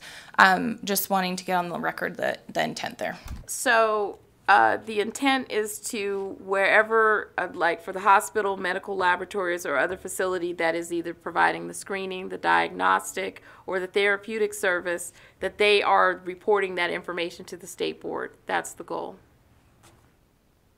Thank you. Uh, and uh, do we think that'll be like an annual thing, or is it more important to get it up front and and, and see it as it's hap- as the diagnosis is happening? It's supposed to be happening upon when they go, and so that timeline of that six month window. So they should be reporting. It's not annually, but they should be reporting when those cases come through, and then there should be a compiling uh, moment. So when I you, that six month uh, piece where it says the manner no later than six months, the division then abstracts the information, and then we have the analysis that occurs. So we're collecting, and then we're going to abstract the information, and then we're going to do the analysis to determine if there are trends. Wonderful. Thank you so much. Do we have any other questions from members? Looking around, seeing none. At this time, I will begin testimony in support of Senate Bill 175. I'm going to look to the room. Uh, seeing no one coming up to the table at this time, broadcast services, can we go to the phone line for any testimony in support of Senate Bill 175? To testify in support of Senate Bill 175, please press star nine now to take your place in the queue.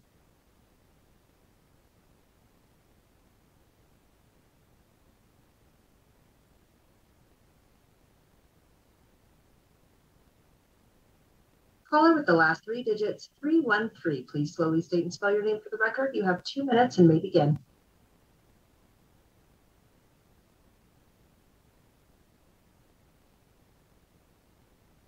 Caller, please press star six to unmute. Hello, this is Calvinia Williams, founder and president of Lupus of Nevada. Can you hear me? Can hear you. Go ahead with your testimony. Thank you so much. I was supposed to have been earlier and I was trying to work with this phone and couldn't work with it. Uh, Senator Dina Neal, thank you so much. And I'd like to thank uh, Health and Human Services. I, I, I'm just, I'm pleased. But one of the things, I have lupus and I have also lupus of Nevada. And our agency is advocacy and educational awareness. And one of the things, one of the things we want to see with the um, SB 175 is accountability. The reporting process in this, when our lupus individuals go, and this has been over 17 years in Nevada doing this, our lupus people will go into the doctors and they will come out with no answers, no answers at all. Um, the second thing I would like to have is the demographics of this. This is what we really wanted, you know, to hold that accountable so the registry could get their hands on it and we can fight, we can actually fight to get those grants. But we don't know how many people in the state of Las Vegas, in uh, Nevada, that has it. And our people are calling me daily complaining about the fact that they went into their doctor, went to California, diagnosed 16 years. They moved here about six months ago. One of the physicians told them they didn't have lupus, took all their medicine away, and now they're uh, told them to get on um, Tylenol. That's it. We need accountability with this because if these individuals have been on their medications for 16 years, we need to figure out what's going on. We really do. And now this individual with lupus does not have any doctor. The doctor, she won't go see the doctor, so she's just out there. She's trying to find a primary there in, in Las Vegas now. And I get concerned about it and agitated because I'm a major advocate for this. And I, we need your help. And this bill is going to do it for us. It's going to set boundaries, standards determined by the uh, uh, misappropriation of the uh, diversity of the people that do have it on Revere in West Side, uh, uh, the South, Southwest. A lot of people aren't going to the doctors because they're not going to get the outcome that they're expecting to get. So that's why I feel it's so important for this bill. Thank you for letting me speak. Thank you. Broadcast Services, do we have anyone else to testify in support? Chair, there are no more callers to testify in support at this time. Next, I will go to any testimony in opposition of Senate Bill 175. If there's anyone in the room, please make your way to the table. Seeing none, Broadcast Services, is there anyone on the line in testimony um, in opposition? Testify in opposition to Senate Bill 175, please press star nine now to take your place in the queue.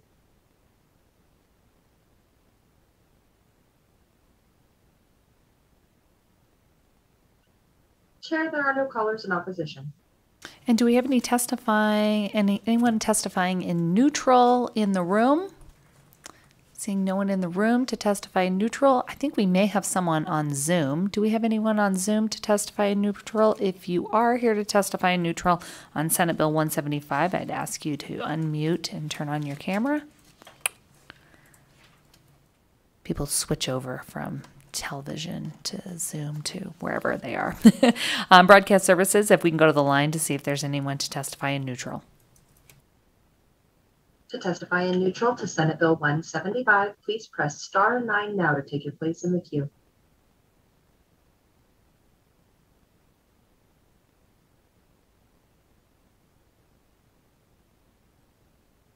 Chair, there are no callers to testify in neutral at this time.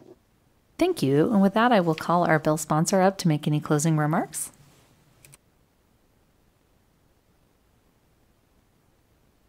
Senator Dina Neal for the record. I want to thank the committee for hearing SB 175. Thank you, Chair, for scheduling this bill.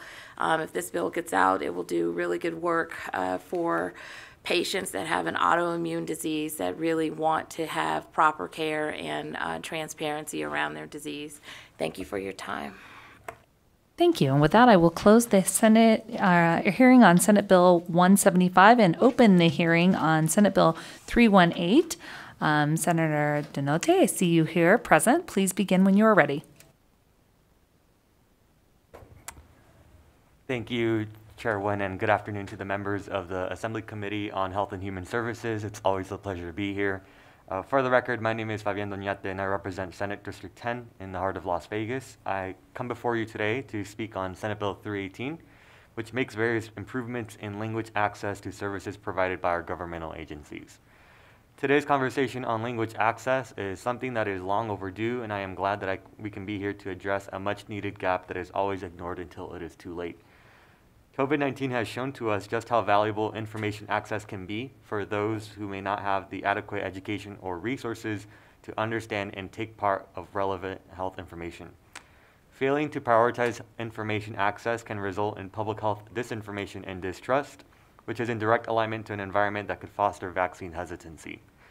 Vaccine hesitancy, as in the refusal of vaccines despite the availability of these services, is a very real problem here in Nevada that will become apparent within the next few weeks, especially as we begin to expand our reach to marginalized groups that have been abused and neglected for years.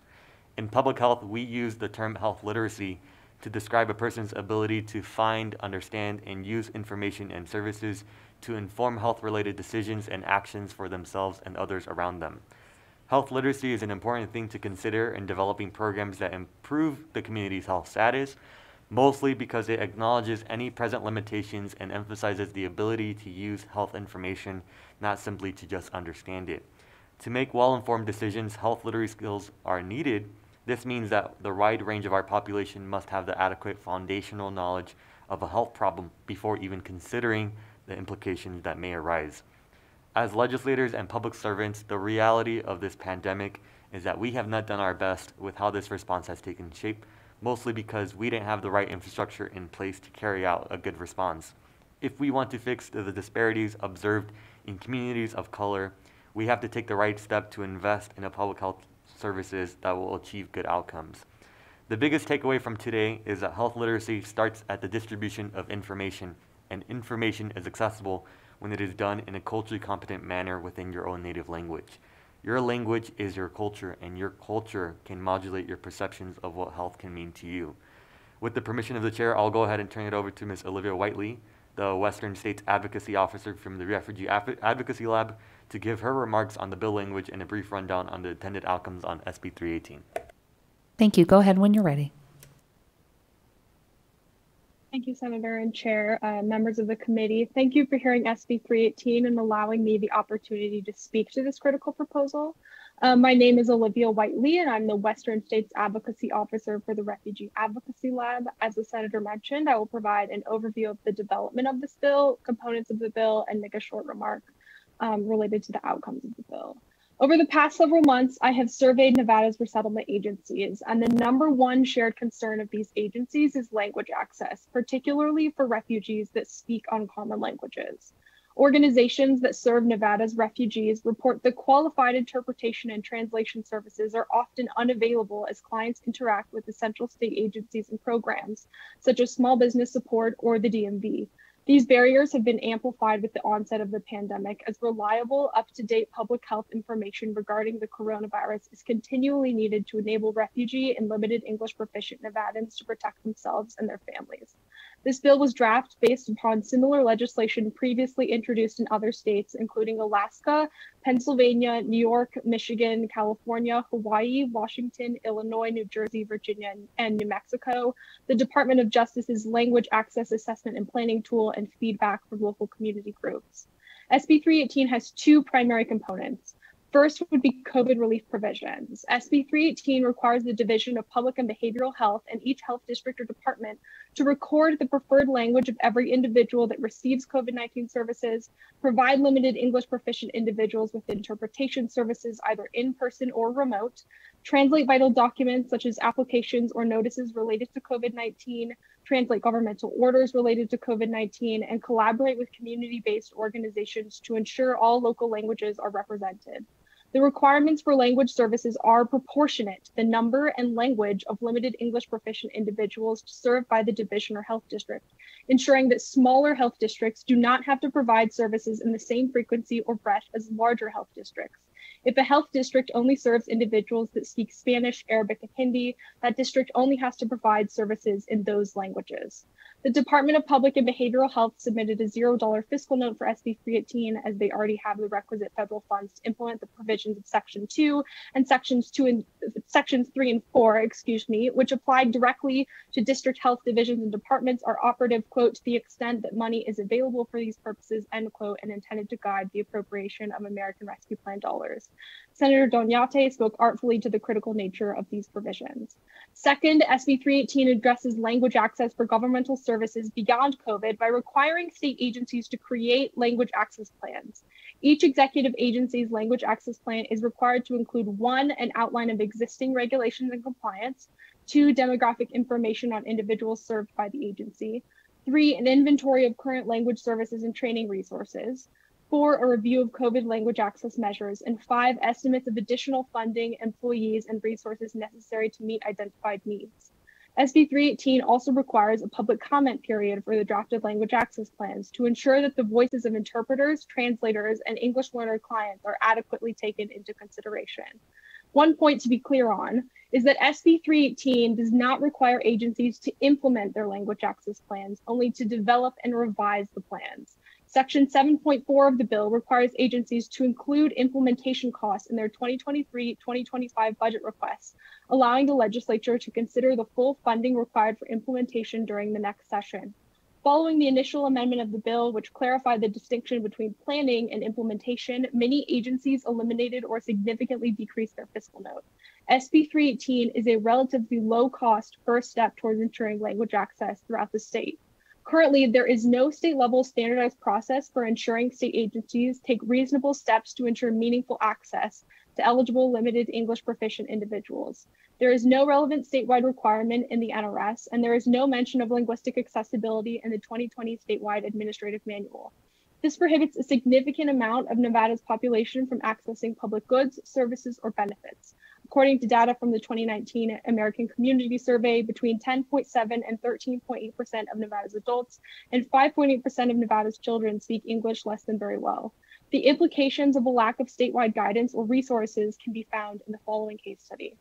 Within HHS, the Division of Child and Family Services has the most comprehensive set of publicly available language access policies, a limited English proficient or LEP policy from 2017, and a culturally and linguistically appropriate services policy from 2018. These policies contain several components that are praiseworthy and that SB 318 would require of all agencies. However, even these policies are four to five years old and lack standardization. For example, the culturally and linguistically appropriate services policy defines an interpreter or translator as an individual who has, quote, a bachelor's degree from an accredited institution, preferably in languages or linguistics, and possesses at least one year of specialized experience, end quote, while the LEP policy has no such definition or qualifications requirement. As both policies are specific to the same program area within DCFS, children's mental health, this fundamental determination of who is competent to interpret or translate treatment options, eligibility requirements, or medical conditions to parents whose children are facing mental health difficulties should be standardized. If you look through other publicly available HHS uh, LEP policies, which are posted as an exhibit on NELIS, uh, you can see a further lack of standardization. Some of these policies are a single paragraph, some are not publicly available. Um, the agency or division an individual is dealing with should not determine an individual's ability to access essential information in their preferred language about programs not only are they eligible for, but are funded by their tax dollars, uh, nor should an individual zip code. It's possible and likely that agencies and other divisions have additional policies and plans and resources for ensuring language access that are not readily publicly available or otherwise included on NELIS and this is not intended as a comprehensive evaluation of the existing language access work of Nevada's departments.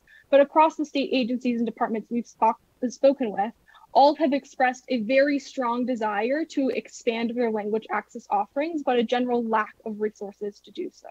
Um, SB 318 provides a statutory basis for all agencies to include funding to support the implementation of their language access plans in their biennial budget requests, which bridges the gap between agency intent and the resources available to each agency.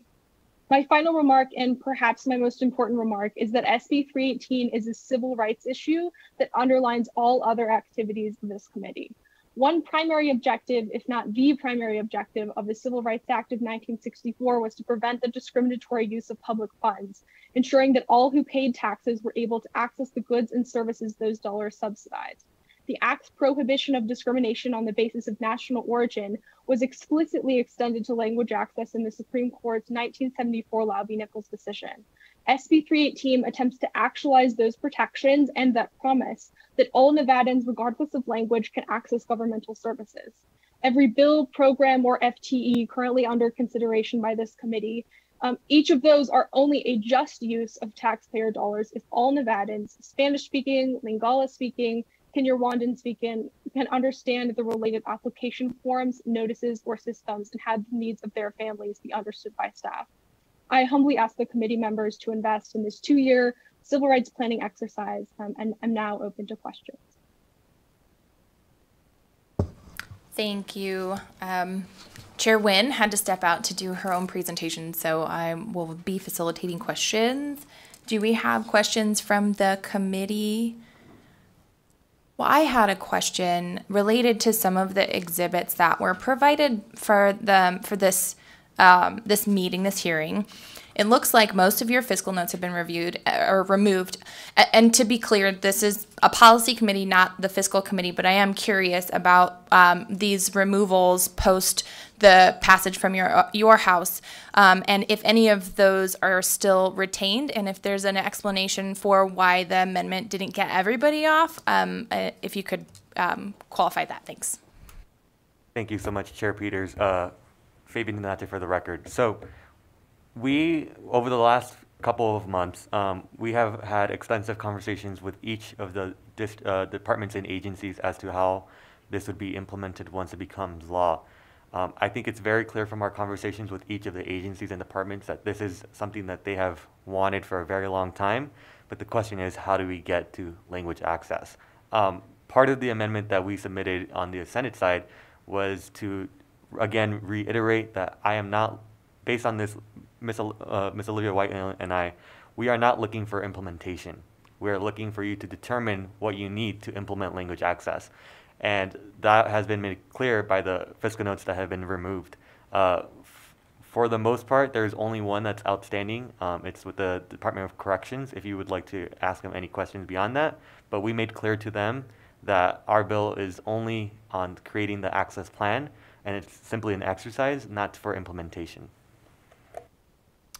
Thank you. I did um, look at some of that um, language and, and the and the fiscal note. I, it's my understanding from your language that you're not requiring a, like an additional person. That it's just somebody who may have interest in this who can champion it through their offices. Okay, that makes sense. Are there any other questions um, from uh, Assemblywoman Benitez Thompson? Please go ahead. Thank you so much, and thank you for the spill because um, I think in in previous conversations um, the intersection between language access and health equity, right? That's the the new big policy frontier that we're going to have to battle moving forward, and it'll be you know future legislators legislatures that will decide whether we do that kind of piecemeal, statute by statute, here you know here and there. Um, but it, it's it's a question that is is I think the next one of the big, next big policy things that we have to tackle in this building. Um, I want to ask on uh, Section 7 specifically. Um, so, this is dealing with the executive department um, and a language access plan.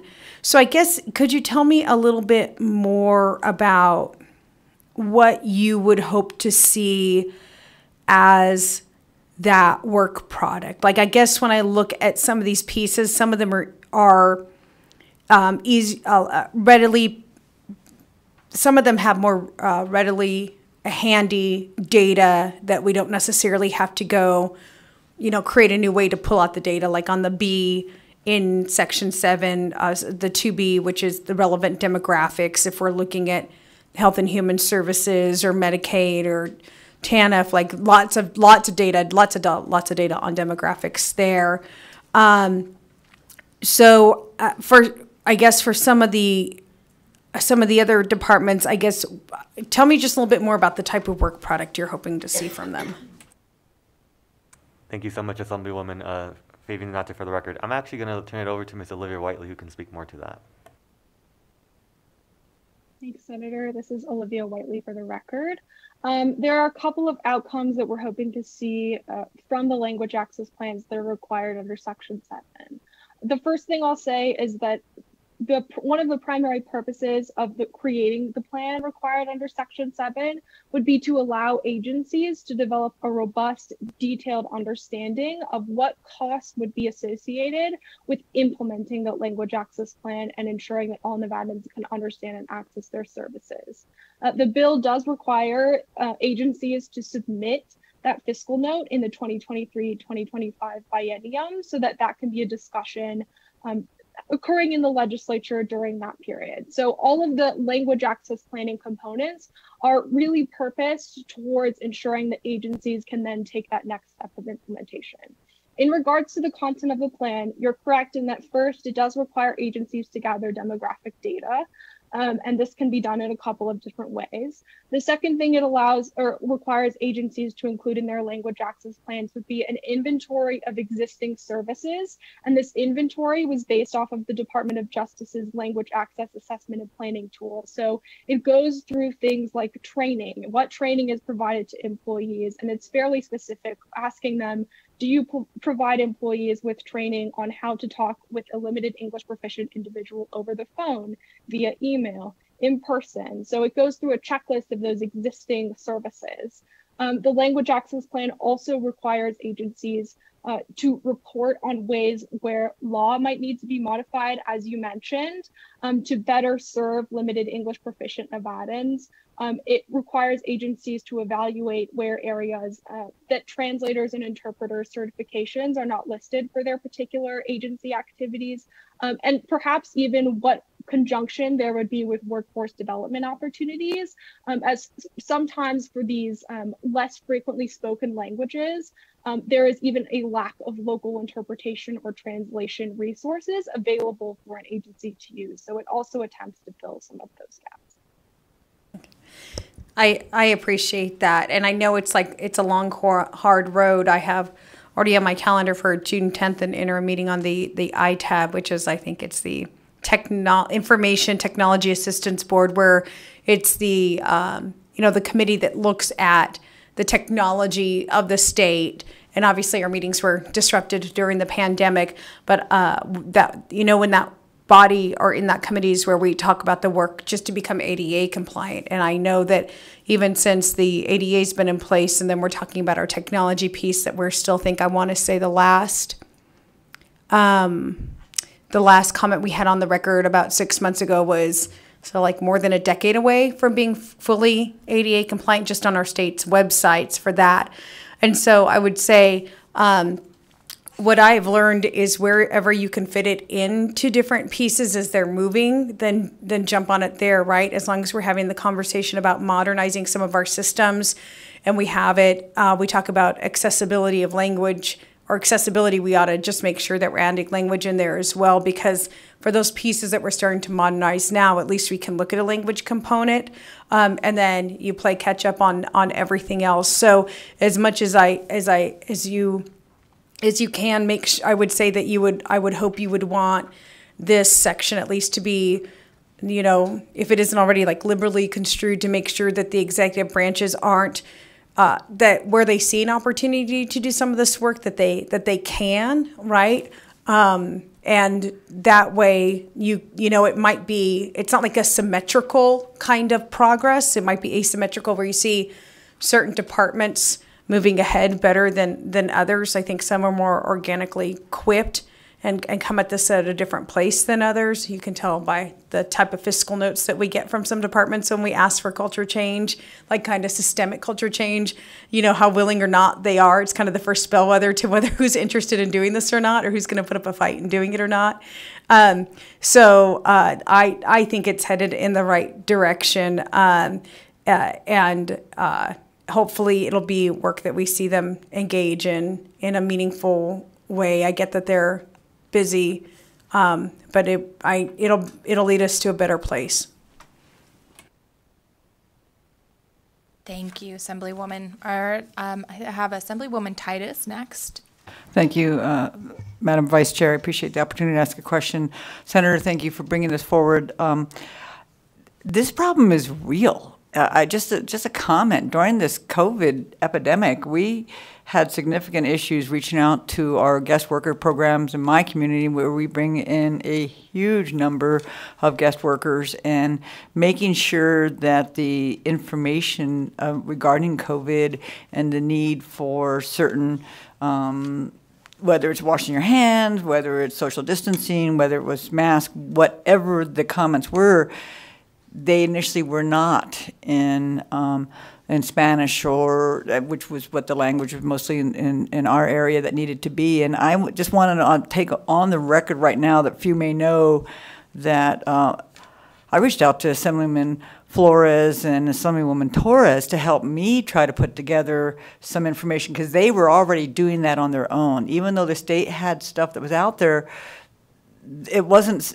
really I asked him, well, interpret this. What, how would you see this and, and recommendation? So having a, a, process where not only is it in in Spanish per se, it's actually in a format that somebody reading it would understand it and not be threatened by it. So um, it's not really a question. I just want to thank you for bringing it forward. I, I think this is important, and and uh, for those doubters out there, I, I, it was a significant aha moment for me this last summer when we couldn't get the information out and we needed to get it out in not only their language, but in whatever the translation was that they would accept and trust. And it's all about building trust in the healthcare system, not just having some bureaucrat write it in Spanish that it wasn't really their language anyway. It was a you know textbook kind of interpretation. So I think there's a there's a, a huge need here, uh, and so thank you for bringing this forward. Thank you for the comment. Are there any other questions from the committee before we move on to testimony? Seeing none, thank you so much. We will go ahead and move on to support testimony. Is there anybody in the committee room who is here to testify in support of SB 318?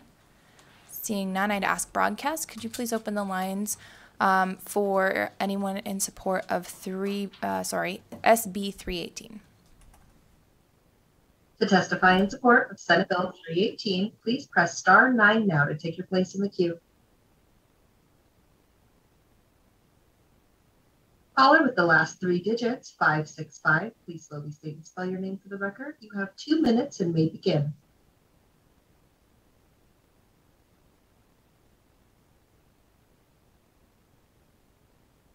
Caller with the last three digits, 565, please press star six to unmute. Good afternoon, Madam Chair, members of the committee. My name is Manuel Mederos for the record. I'm the language access specialist for the Northern Nevada International Center in Reno, Nevada. I run a program called the Language Bank. I'm giving testimony in full support of SB 318 because it is critical that each Nevada state agency is really able to create their own language access plan. This plan would help state agencies meet the language needs of Nevada's experiencing significant barriers to accessing state services related to COVID 19 due to the lack of materials and information translated. I cannot say enough and emphasize enough about the importance of providing appropriate access to language services, which would provide much needed culturally and linguistically appropriate language services to our growing diverse communities. As many of you have recognized today, Nevada is an extremely diverse state. It is beyond Spanish, it is beyond English. There's a multitude of languages in our state. So, Providing equitable services to clients regardless of their spoken language is a crucial component in the provision of trauma-informed, non-discriminatory, safe, and effective assistance to all members of our communities throughout our wonderful state of Nevada. Today, the focus is COVID-19. However, in the future, it could be something else, a disaster of some sort, another pandemic, or a statewide emergency. This bill would allow each state agency and personnel to make language access plans appropriately.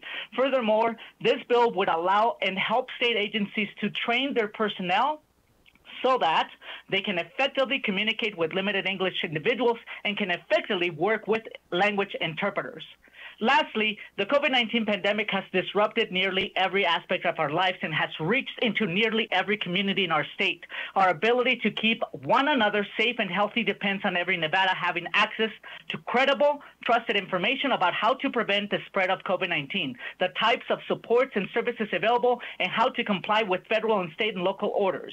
We know certain communities are disappropriately impacted by this pandemic, and one way we can shift that injustice is to is by meeting our obligation to communicate in ways that are accessible and culturally and linguistically relevant. We need SB 318. We need it so bad to ensure that our underserved communities can access life-saving information and care.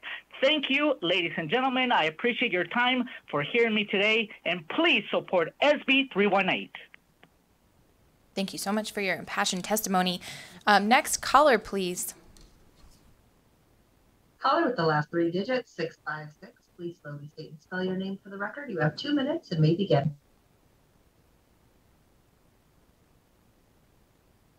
Hi, my name's Will Pregman, representing Battleborn Progress, W I L L P as in Peter, R E G M A N. We rise in support of SB 318. Since the beginning of the pandemic, Nevada families who either aren't affluent in English or don't uh, English as their primary language often alienated from COVID 19 public resources. Luckily, there was a network of community support to ensure these materials were translated and helped folks connect with housing, healthcare, food, or other resource assistance that they needed. We thank Senator Doñate for bringing forward this bill to provide information on state resources in multiple languages. We support this effort to make social, our social safety net accessible to all communities, regardless of which language they speak, so they have accurate information on how, they, how to find what they need. We urge your support of this bill. Thank you. Thank you for your testimony. Next caller, please. Vice Chair, there are no more callers on the line in support. Thank you so much. Are there any, uh, anybody in the room who would like to testify in opposition to SB 318? Seeing none, I would ask that broadcast please check the lines for any opposition callers for SB 318. To testify in opposition to Senate Bill 318, please press star nine now to take your place in the queue.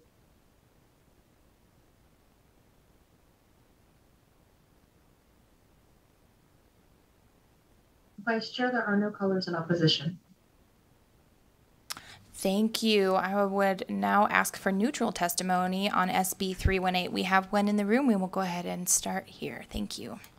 Good afternoon, members of the committee. Bradley Mayer, B R A D L E Y M A Y E R, partner with Argentum Partners, representing the Southern Nevada and Washoe County Health Districts today.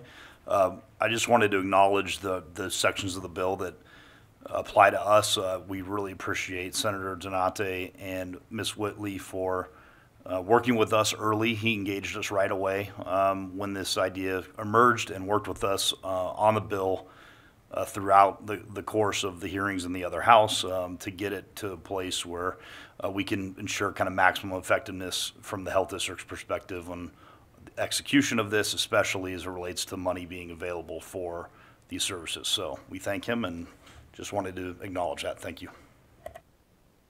Great, thank you so much. Seeing no one else in the room to testify in neutral, I would ask the that broadcast open the lines for neutral testimony on Senate Bill 318.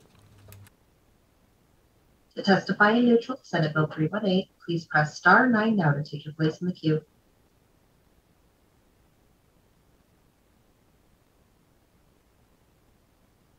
Caller with the last three digits, 000, please slowly state spell your name for the record. You have two minutes and may begin.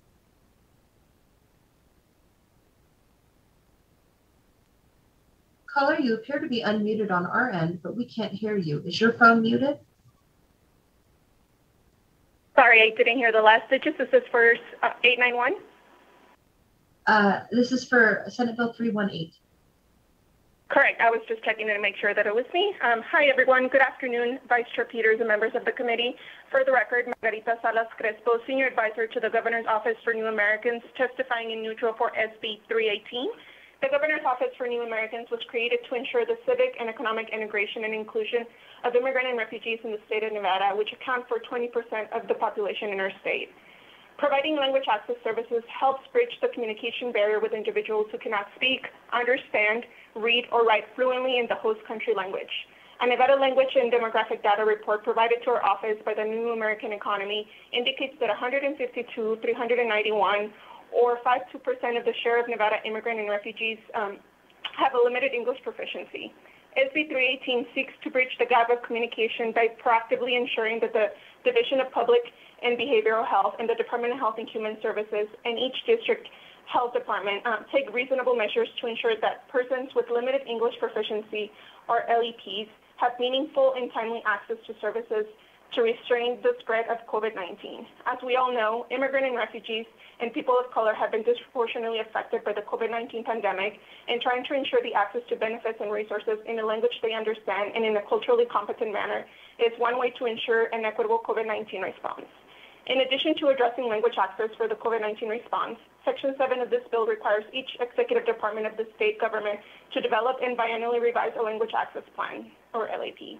As an initial step towards ensuring that each state agency provides high quality and appropriate language services to the constituency they serve. A language access plan will help in the success of the state's efforts to ensure that all Nevadans have access to accurate, timely, and vital information in the language they understand and in a culturally competent manner. Thank you for your time. Thank you so much for your testimony. Broadcast, is there anyone else on the line for neutral testimony? Yes, Vice Chair. With the caller with the last three digits, 109, please slowly state and spell your name for the record. You have two minutes and may begin. Hello, Vice Chair. Sean Sever from the DMV, S E A N S E V E R. Um, I just wanted to comment on our uh, fiscal note. We are neutral on the bill, of course. Uh, but after receiving clarification that the bill calls only for the formation of a language access plan not the actual implementation of the plan, we have determined that DMV's fiscal note can be revised to indicate a no fiscal impact. Thank you. Thank you for putting that on the record as this is not the fiscal committee. We will ensure that that's on the record for the bill, but pass that information on to our fiscal committees. Is there anyone else on the line for um, neutral testimony? Vice Chair, there are no more callers for neutral testimony. Thank you so much. Um, I would go ahead and ask if the bill sponsor has any closing remarks.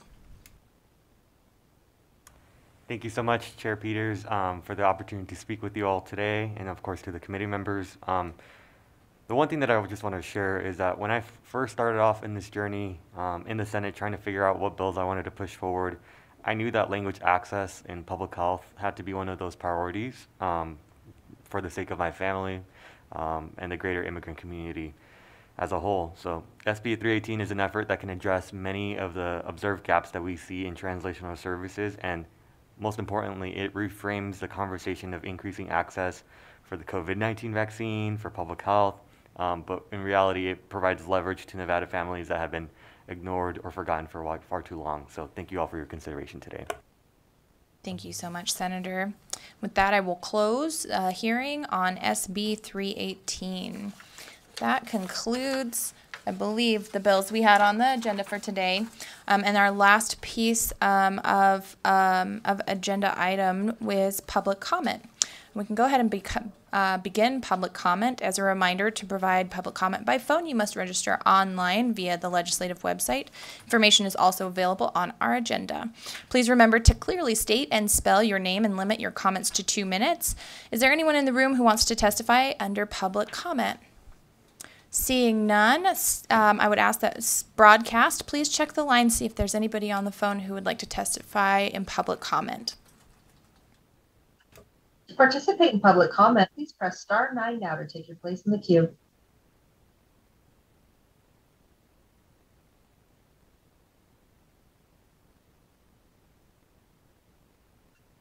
Vice Chair, the public line is open and working, but we have no callers wishing to participate at this time.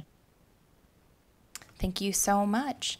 Um, looking at the committee, is there are there any uh, remaining comments from the committee? Seeing none, that concludes our meeting for today. Um, I believe we have a meeting scheduled for Wednesday, but I would unclear if that is at a time or at call of the chair. Yeah. Okay. Yeah. We're this week. We're pl- we're playing it by call of the chair. Um. So so uh, you know, pay attention to to our um our chat boxes, and we'll let you know when to expect that on Wednesday. And with that, thank you so much, committee. Have a nice rest of your afternoon. Um, and I think I'll see you down on floor.